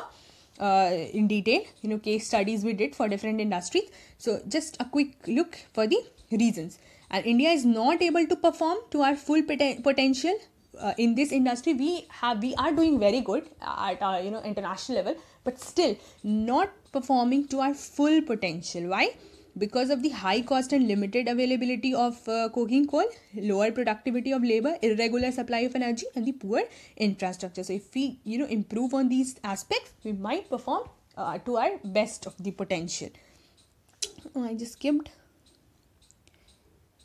Yeah, so aluminium smelting it is the second most important metallurgical industry in India. Uh, it is like this substance is light. It is resistant to corrosion uh, good conductor of heat, malleable and becomes strong when mixed with other metals. It is also used to manufacture aircraft, utensils and wires. Now, aluminium smelting plants are located in these areas and the raw material which is used in smelting is the bauxite. So, we know it is produced from this. Bauxite is a bulky, dark reddish color substance. Then the chemical industries. It's the third India India's industry is the third largest in Asia 12th largest in the world in terms of size. Again, these are the data which are given in the book. Now, it comprises both large and small scale manufacturing units. These are the inorganic chemical chemicals like sulfuric acid, nitric acid, etc. And the organic chemicals, it includes petrochemicals which are used for manufacturing synthetic fibers, synthetic rubber plastic dye stuffs drugs and pharmaceuticals and they are located near oil refineries or the petrochemical plants see there is nothing to explain in these slides because these are like the factual details so i'm just going through them fertilizer industry it is centered around the production of nitrogenous fertilizers mainly the urea and phosphatic fertilizers and ammonium phosphate and complex fertilizers which have a combination of NPK. If you know the full form, please write it down in the comment section. Otherwise, after few days, I'll mention about NPK. Now, um, potash, it is imported because we don't, do not have much reserve in the country for potash. India is the third largest producer of nitrogenous fertilizers. See, these are some of the uh, facts you need to know. Now, the cement industry, it requires bulky and heavy raw materials like the limestone, silica, alumina and gypsum. Cement is essential for construction activity such as building houses, factories, bridges, roads, airports, dams, etc. Then coal and electric power are needed apart from the rail transportation. So you need to remember what are the conditions or what are the things that are required in these industries. So we need transportation and also coal and the electric power. Then the first cement plant was set up in Chennai in 1904. Then we have automobile industry. So uh, automobiles they provide vehicles for quick transport of goods and passengers. So these are the vehicles that can be included in this industry and the industry is located around certain areas. So these are some of the areas like Delhi, Gurgaon or Gurugram you say, Mumbai, Pune, Chennai etc. Then we have IT industry, information technology and electronics industry. Now this electronics industry it actually includes different set of products like you know transistors televisions telephone cellular telephone that is mobile phones pager radars computers and many other equipments that are required in the telecommunication industry and this telecommunication is also you know kind of IT industry so therefore we are just combining them so the products from here they are needed in this industry so they are interrelated now bangalore it has emerged as the electronic capital of india you know it is the hub of like for IT services some other important centers for these electronic goods you can just see here all the uh, some of the cities now some of the major industry uh, uh, uh concentrations for the software technology uh, in the bangalore noida mumbai chennai hyderabad pune etc we have already done a case study of bangalore in the earlier class it also helps in employment generation uh, for women also we have like many women employees in these it services sectors it also is a major foreign exchange earner because of bpo sector please write the full form of bpo in the comment section and the success of IT industries India is because of continuing growth in hardware and the software. Then we have interna- industrial pollution and environmental degradation. So these industries are also resulting in pollution because we have negative aspects of everything. So we are just quickly doing the types of pollution. So in air pollution, you know these gases are released. Then we have solid and liquid particles. Then it affects humans, plants, buildings, atmosphere as a whole then water pollution, it is caused by organic and inorganic industrial waste and effluents, which are discharged into the rivers, the water bodies, because of these industries or from these industries. Then also like, you know, dyes, detergents, acids, salts and heavy metals like lead and mercury, pesticides, fertilizers, synthetic chemicals. These are also discharged. Then we have some major solid wastes. You can just, uh, it's fly ash written here. Uh, then phosphor gypsum, iron and steel slags, etc. Then this is thermal pollution uh, occurs when hot water from factories and thermoplasts is drained into rivers. It affects aquatic life and uh, is from nuclear power plants and nuclear and weapon production. It also facilitates like uh, uh, uh cause uh, sorry these facilities cause cancers, birth defects and miscarriages because of the thermal pollution. This is one example. Then this is about noise pollution. So we know it causes irritation and anger and might results in hearing impairment etc impairment etc and these are like noise from the industrial and construction activities so this was all about types of pollution that are like caused from the industries and we need to conserve these we need to preserve our environment all right this was all for today thank you so much bye bye Hello everyone, welcome to this new lesson in this course. This course is presented by me Arpita Prakash. You can read more about me from here. You can also rate, review, recommend and share the lessons if you are liking them and please follow me on Unacademy at this given user link. This lesson it is on the lifelines of national economy. So in this lesson particularly we are going to study about transport communication and a little bit about the trade. So we have already done uh, some of these things in the earlier classes. Let's just quickly go through them. Now, means of transport. So, we this is what is given in the NCERT. We have broadly classified it as like land transport, water transport, and the air transport. In land, we have roadways, railways, and pipelines. This is kind of in uh, newer invention or the modern uh, used in the modern times. For water, we have like inland and overseas. We have already done these two. Then for air, we have domestic and international airways. In domestic also, we have like public undertaking and the private airlines. Now uh, so first of all transport so uh, in roadways roadways comparatively have an edge over the railway sector why so some of the reasons that was mentioned so we'll just discuss them because uh, it has roadways has low construction cost comparatively i mean compared to railway lines then roads can traverse comparatively more dissected and undulating topography so it's you know comparatively easy to construct roads even if the uh, topography is not that suitable but for railways we need a proper uh, surrounding then roads can also uh, negotiate higher gradients of slopes or even in you know in the mountain areas also roads are still possible to be built but then for railways it's difficult then it's comparatively economical because it helps in you know, transportation of few persons and relatively smaller amount of goods over short distances so in terms of railway it's comparatively comparatively economical then it provides door to door service because you can have a road connectivity you know to, to the interior extent also but railways cannot reach to every interior part there has to be you know kind of like railway stations and from there you need to move on so since it, provide, uh, it provides door to door service there is lower cost of loading and unloading of the materials it also the roadways also provide a link between railway stations air and the seaports so you know kind it act it's acting as a linkage for all these other sectors also now uh, based on uh, their capacity in india we have like classified roads into certain parts so we'll just go through them so first is this golden quadrilateral super highways. this is to connect the major cities like delhi mumbai chennai and kolkata and it is also the purpose is also to reduce time and distance between these mega cities it is implemented by nhai you need to know the full form of nhai this is an institution you need to mention the full form in the comment section the other categories of national highways you know we know about the nhs right nh1 nh2 etc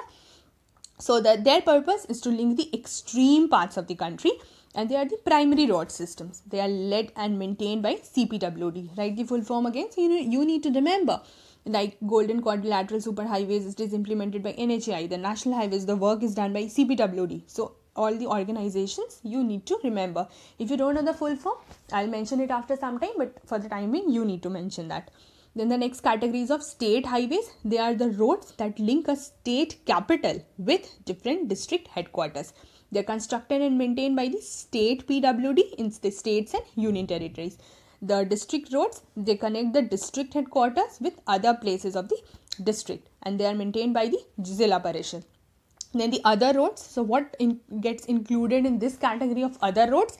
the these are the rural roads which link rural areas and villages with the towns then the next category is of the border roads so they are constructed in the bordering areas of the country uh, constructed and maintained by the border roads organization which is a government of india undertaking uh, this organization was established in 1960 to develop the roads of strategic importance in the northern and northeastern border area. So, anyways, we can make out from the name that they are constructed in the bordering areas of the country. What you need to remember is the authority that is associated with these different kinds of roads. And again, another classification on the basis of type of material used for construction. So, metal and unmetal. Metal, it may be made up of cement, concrete, or even bitumen of coal so these are like all weather roads because they can be used they are kind of pakka roads so it's easy to you know use them in even in rainy seasons or other seasons so they're all weather roads but the unmetalled or the kacha roads they go out of use in the rainy season because they are not made up of these substances so they are just kacha roads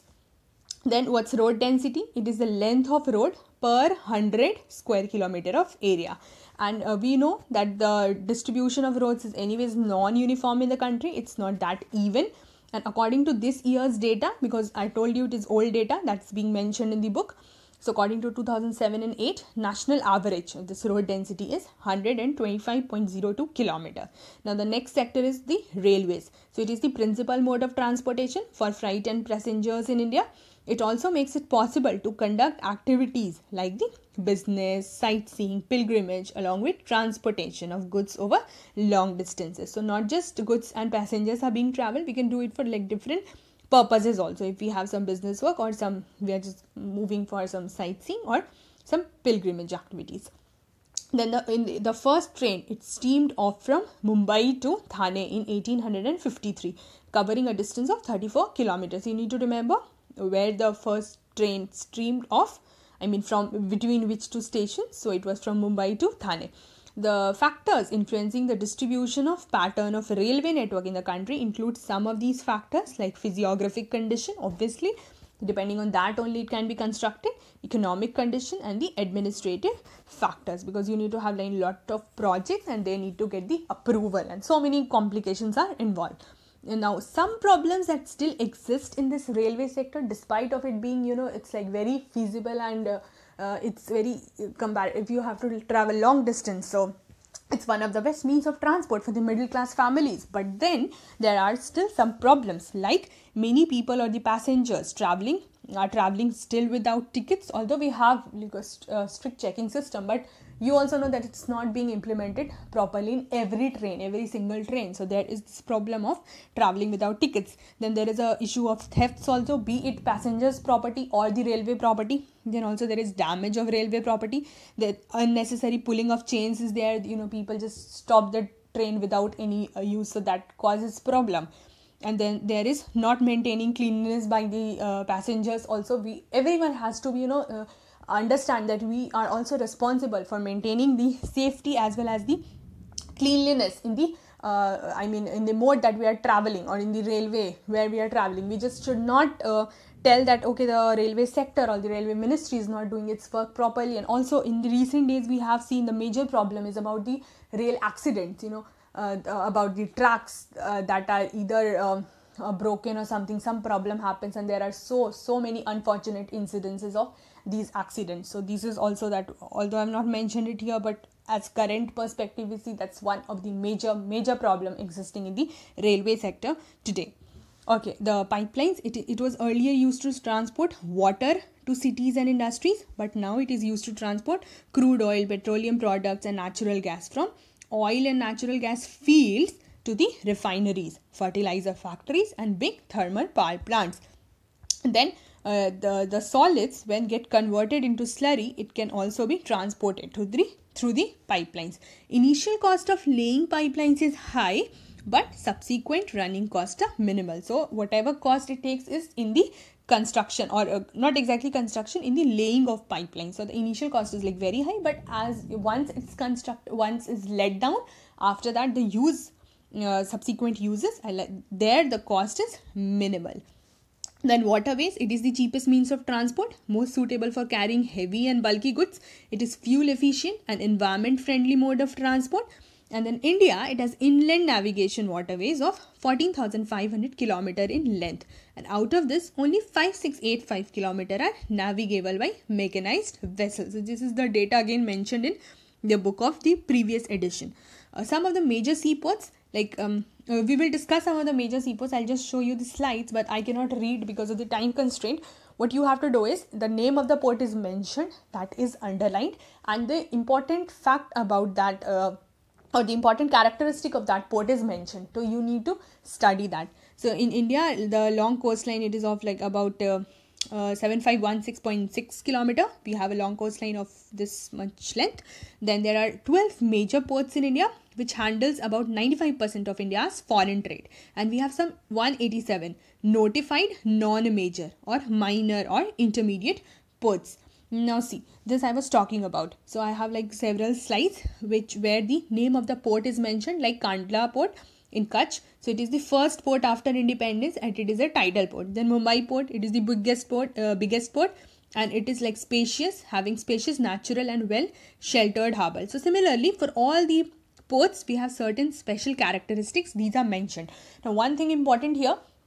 after you know writing all this i just realized it could have been done in a tabular form that would have been actually better so if you are making your own notes please do that because i'm not going to read all the posts just do this make a column here so write the name of the posts here and then the places you can associate it with them and then write the important characteristics so you know at one place you will have all the posts and important details so that becomes easy to learn and remember and also you will have it like at one place so i'm just moving so these are the name of the posts and the details Please go through them. These are self explanatory Haldia Port, Kolkata Port, and etc. Alright, now coming on to the airways, this is the fastest, most comfortable, and the prestigious mode of transport. It can cover very difficult terrains like even high mountains, dreary deserts, dense forest, and also long oceanic stretches with great ease because in these areas there is difficulty to construct railways or the roadways.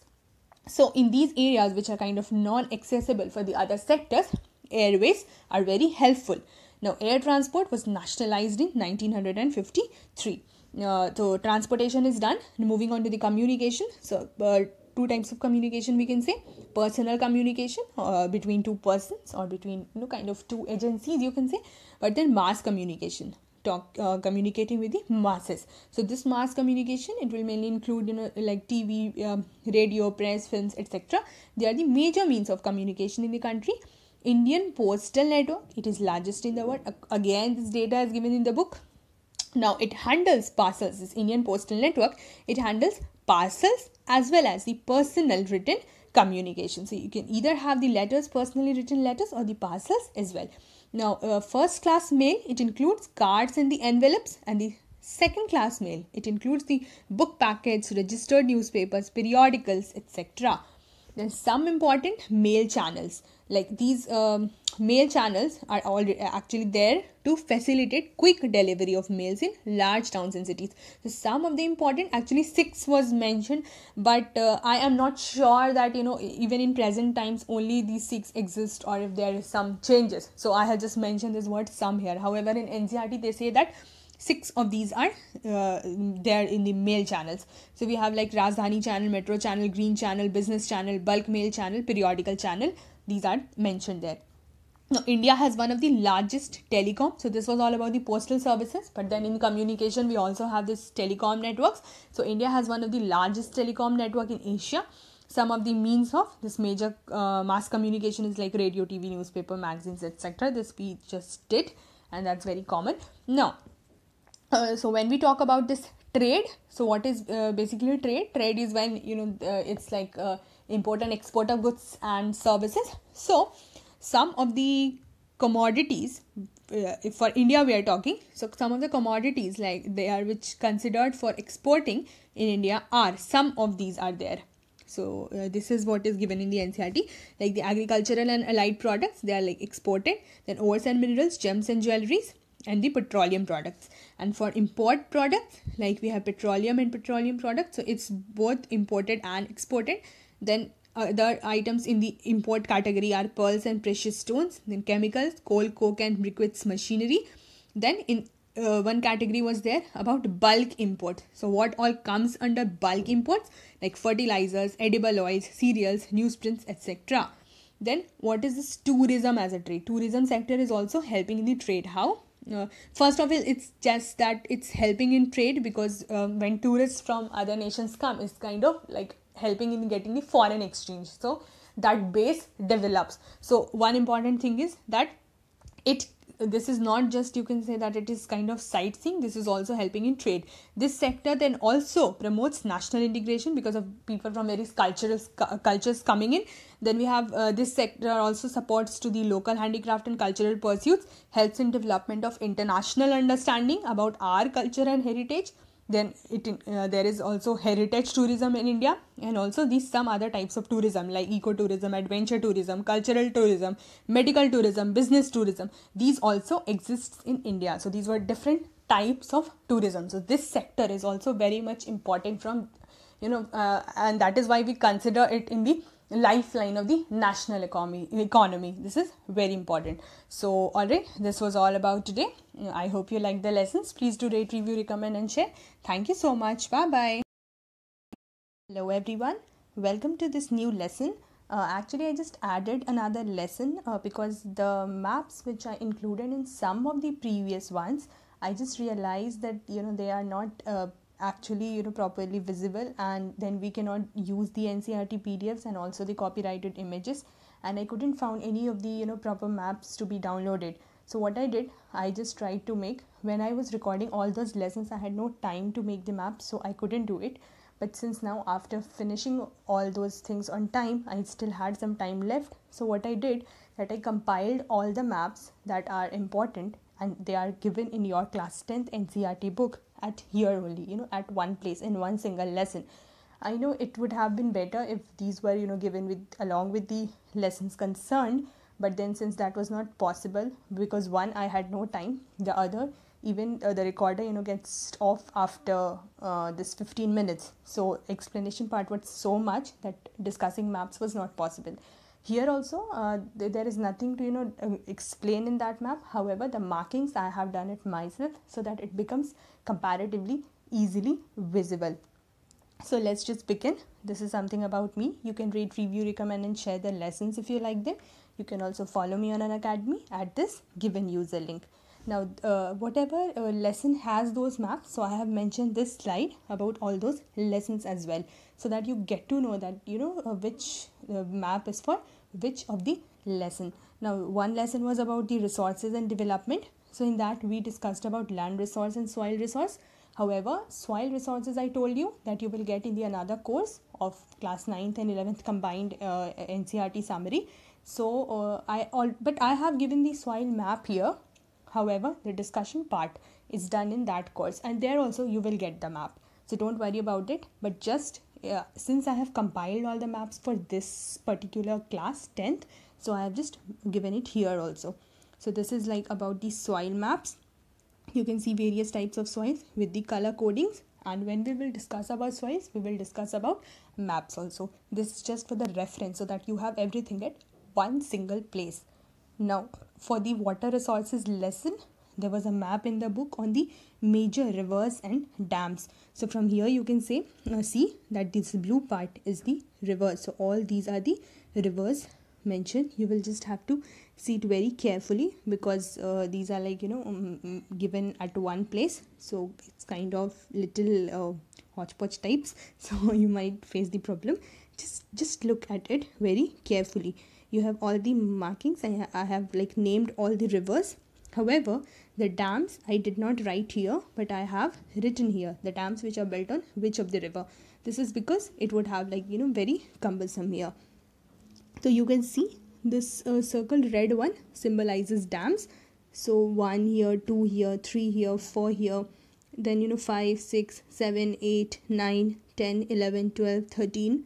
14 15 16 17 18 19 and 20 so 20 dams with this red circle and uh, it's like pointed out with numbers so you will get all the names here after 12 you have 13 to 20 here so let's move on so when we talk about the mineral resources we can just see that there was a map given on the distribution of iron ore, manganese, bauxite and mica. So we have it with different color codings like this red triangle here it is for I'm sorry I um, I'll just change the highlighter yeah this red one it is the iron ore mines so you have you know these triangles here starting from here 1 2 3 4 5 6 7 then here 8 9 10 11 12 13 so these are red one are the iron ore mines so you have all the names here then this blue circle you have iron ore exporting ports so these are four here so you know this i mean this one two three and four here you just see since the colors are different it will be easy to just check then this plus symbol is for manganese so here is like one two three where is the 4 4 here 5 here so you have this for manganese 5 here and then 6 and 7 here so these are 7 of the names for manganese then for bauxite you can just check 1 2 3 4 5 here are for the bauxite this orange one and then light green is the star one is for mica so you have like 2 3 here where is the one one is here so 1 2 3 4 and 5 so you have all the five names here now this shaded part this pencil shaded part is these are all the iron ore fields so you have different symbols for different uh, this minerals right then we move on to the energy resources so here you have distribution of coal oil and natural gas so this green triangle here it is about the coal mines so you will get all the you know this triangles here you will see different namings here here here also starting from here 1 2 3 4 and so on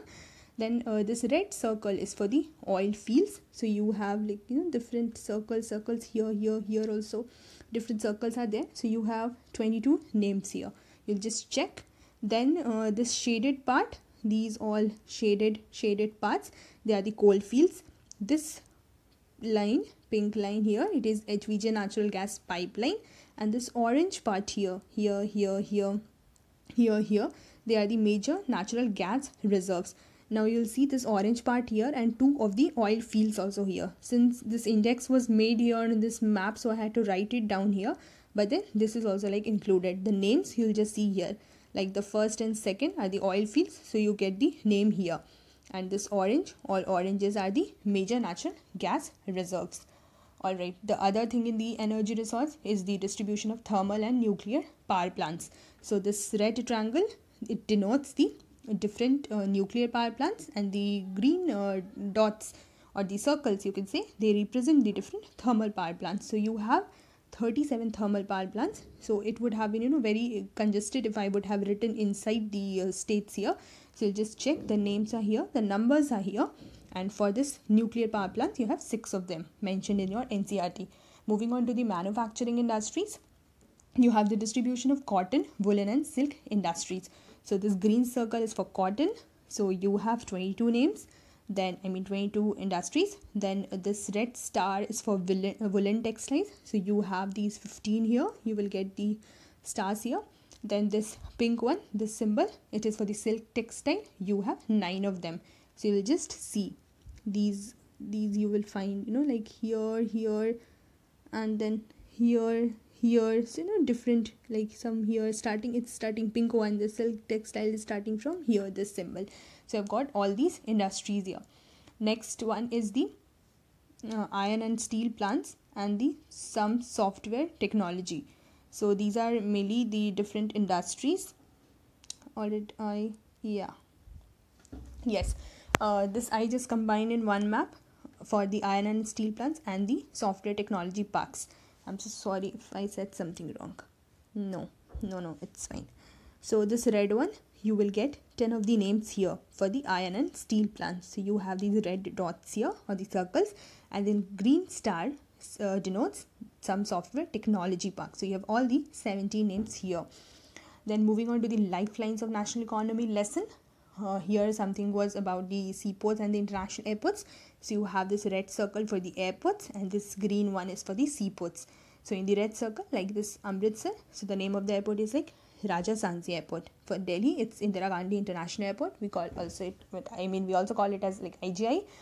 so for kolkata it's like netaji subhash chandra bose so these are the airports then you have like different seaports uh, Jawaharlal Nehru here, Kandla port here, Marmagao here, Mangalore here, Kochi here. So different ports here. So you can get the names from here. Alright, so this was all about the maps because I just used, I mean, um, compiled it at one place in one lesson. So you can, you know, whenever you study a particular lesson, you can just move on to the last lesson to just see the maps. So I hope this lesson was useful to to you, and I hope if you liked it, uh, please do rate, review, recommend, and share. Thank you so much. Keep watching. Bye bye.